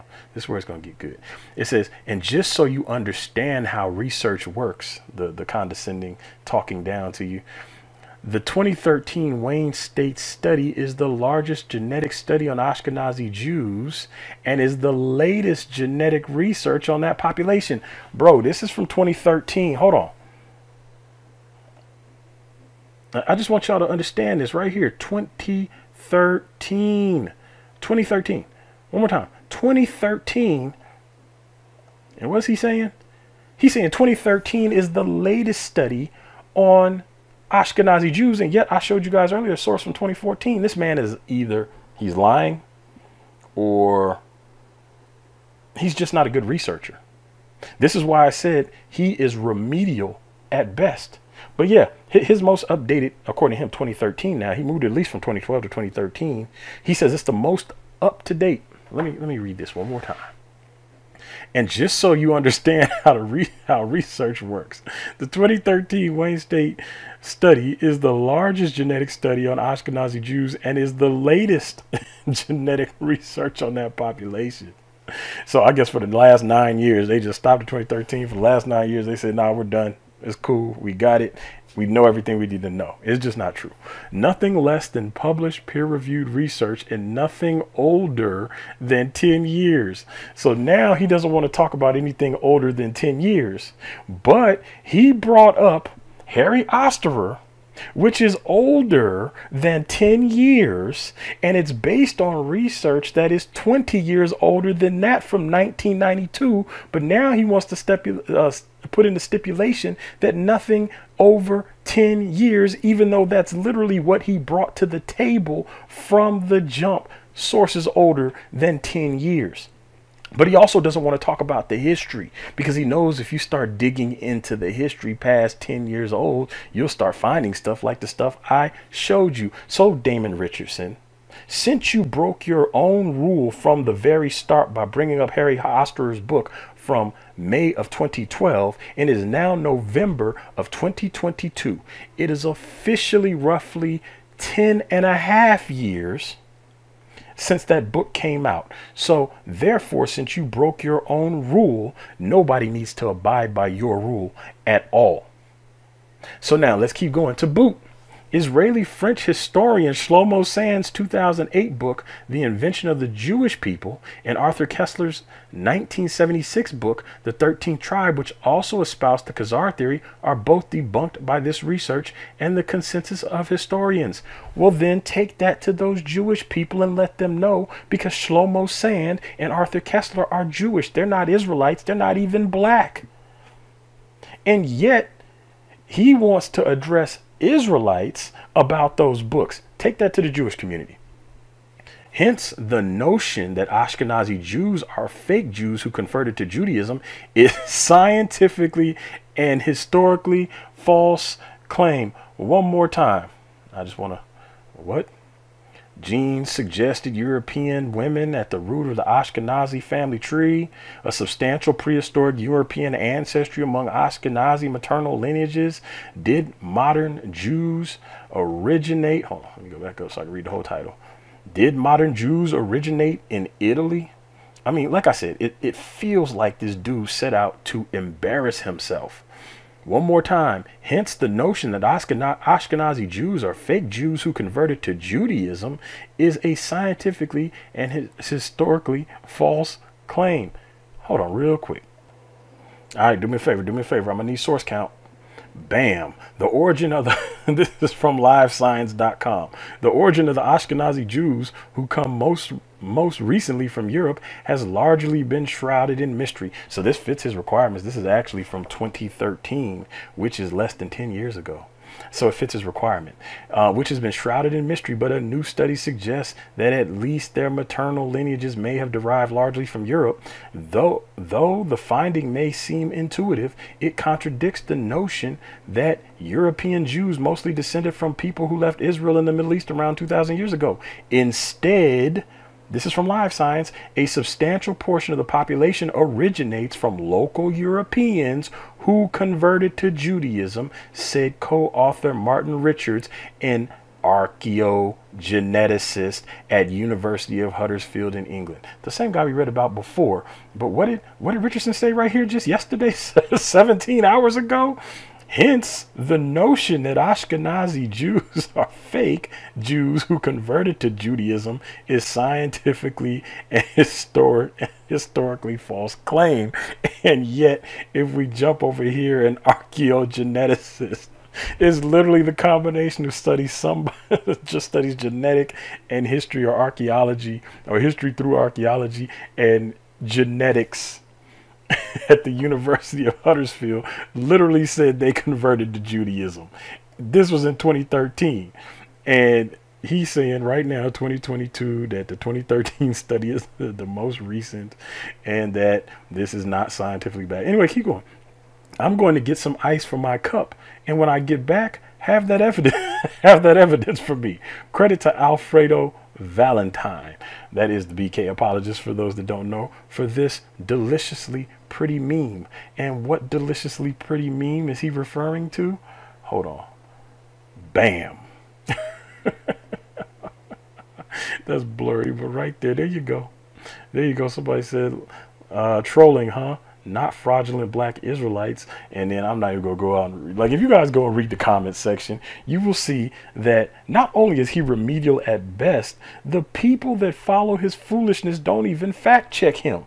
He doesn't provide any links to anything he's talking about. He could have provided the link to the Wayne State University study, just like I did. Bam, right there. I'll put the link in the description for you guys since Damon Richardson didn't want to give you the link.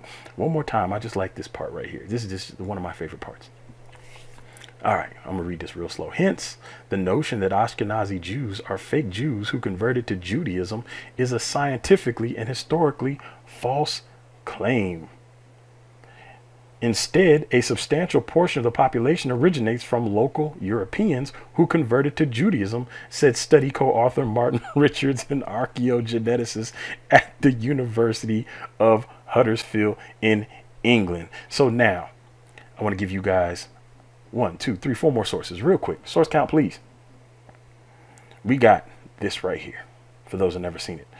This is from the Library of Congress, loc.gov.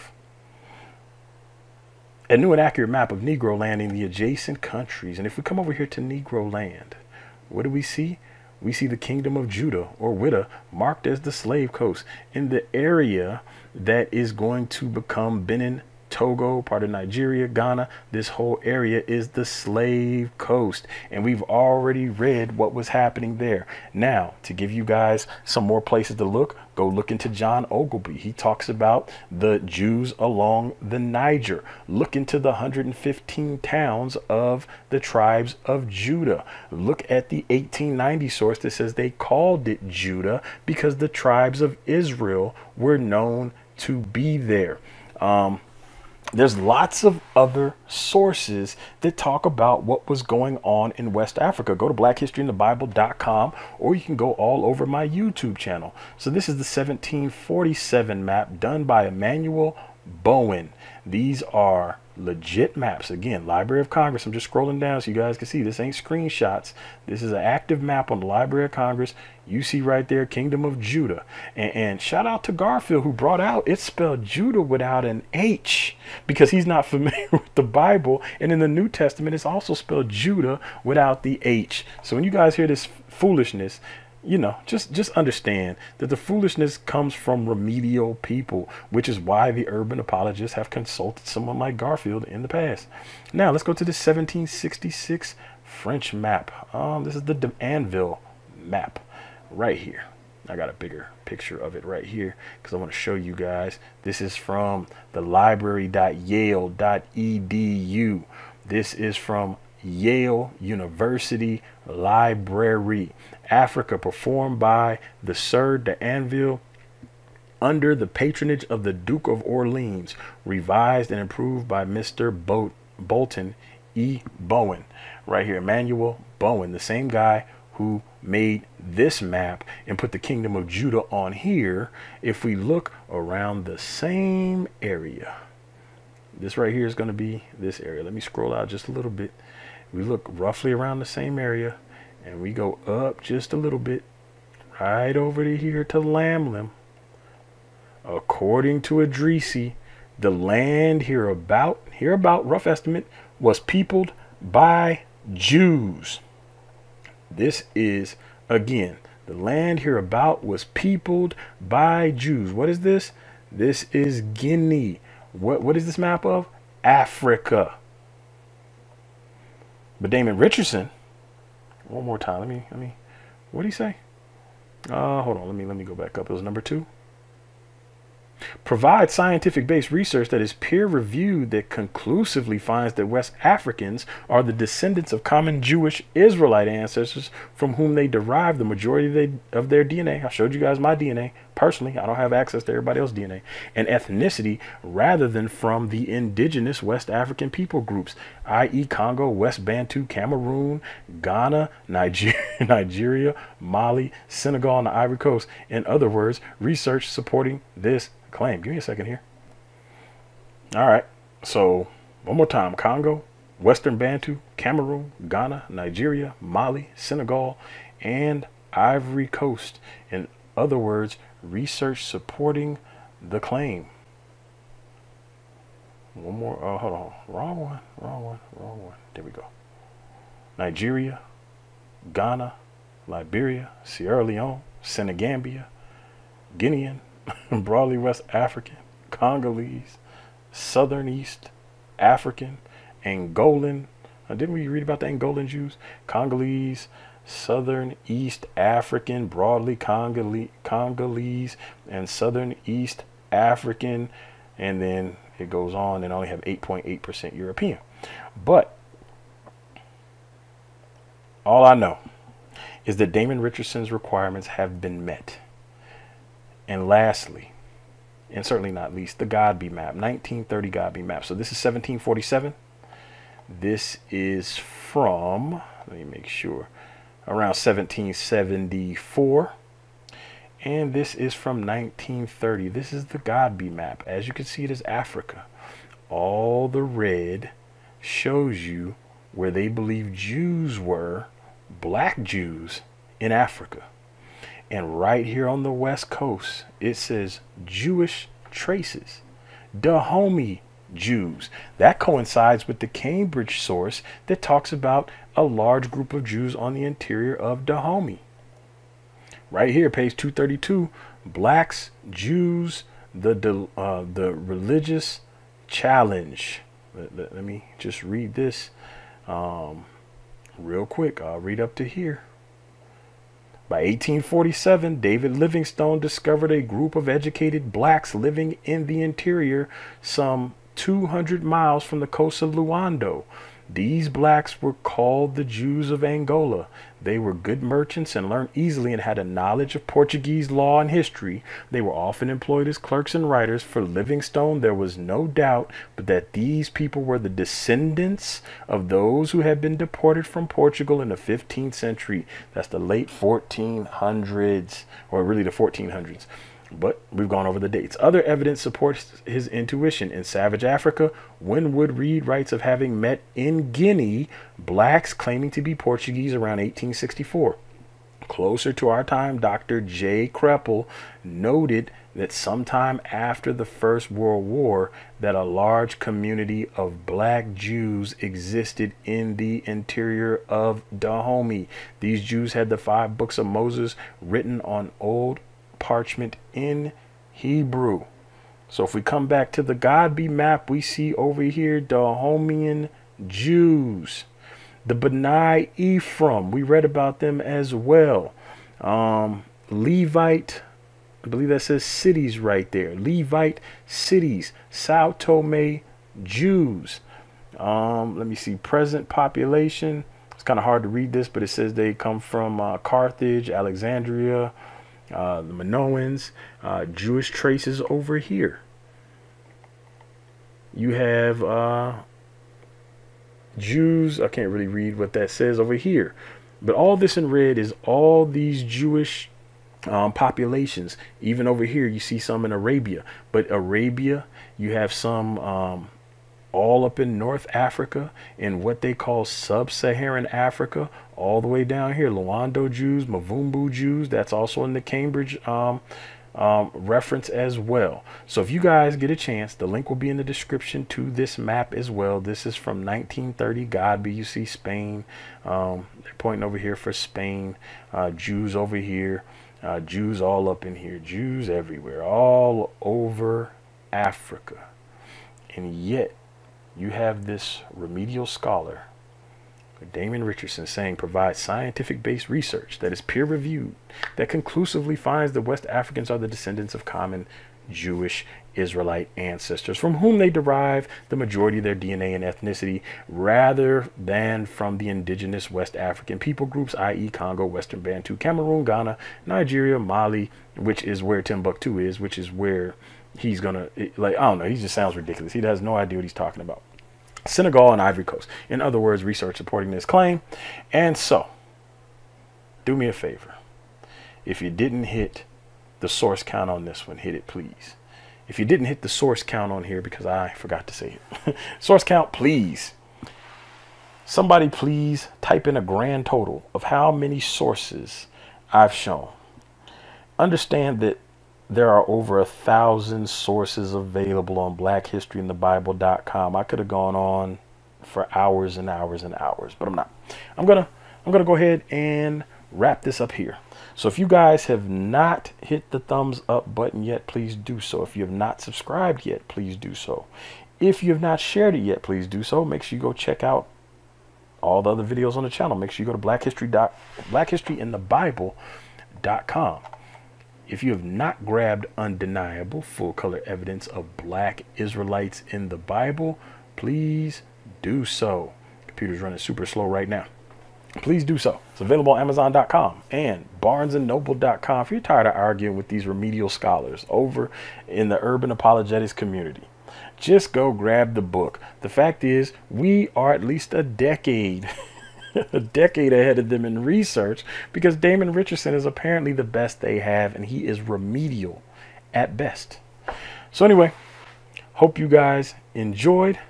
And my message to Damon Richardson listen to DJ Khaled, listen to Mike Brim. With that said, till next time, I'm out. Right. I think I'm listen, I am saying to the whole world every fact fake black Israelite None of y'all hmm. can provide that evidence hey, because it doesn't exist. Congratulations, you played yourself.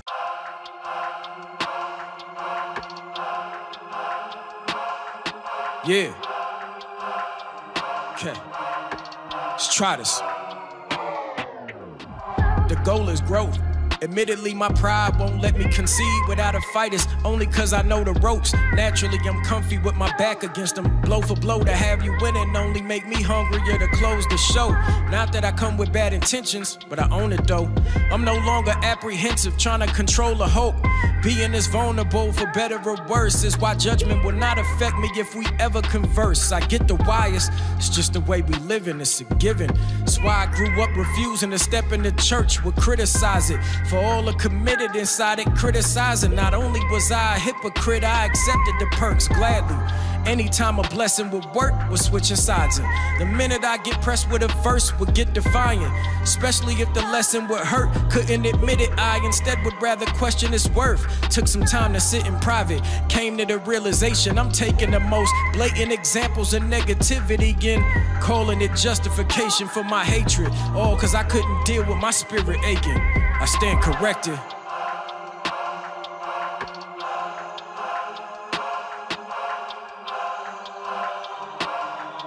Yeah.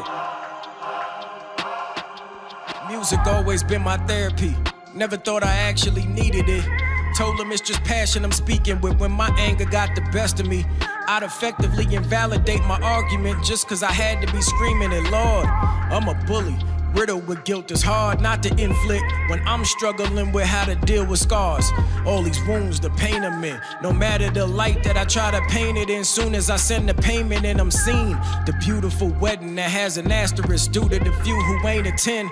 The fact that soon as I leave a session expressing myself, immediately go back to not feeling safe again. So I gotta be brave, but then nobody ever taught me how. And so I break again. Cause even when I'm staying in, I gotta wake up in despair. They took out takeoff, and I don't know how to take it in. Cause I feel like it's wrong for me to care for a lot of reasons. Another 14 shot in the same day in the shy in the drive-by, and I barely stopped to grieve them. Just for example, what that say about me? That I'm easily distracted, selectively impacted. Not actually saddened, only acting. Maybe there's some compassion, but maybe I'm only half in. Maybe I'm just tired of having to see it happen. And by the time it's reported, I've aborted. Speaking of. Nah, we'll save it for another conversation. There's so much to say and there ain't enough time. I wonder how my therapist gonna weigh in. That's new. I guess I'm really changing. I stand corrected.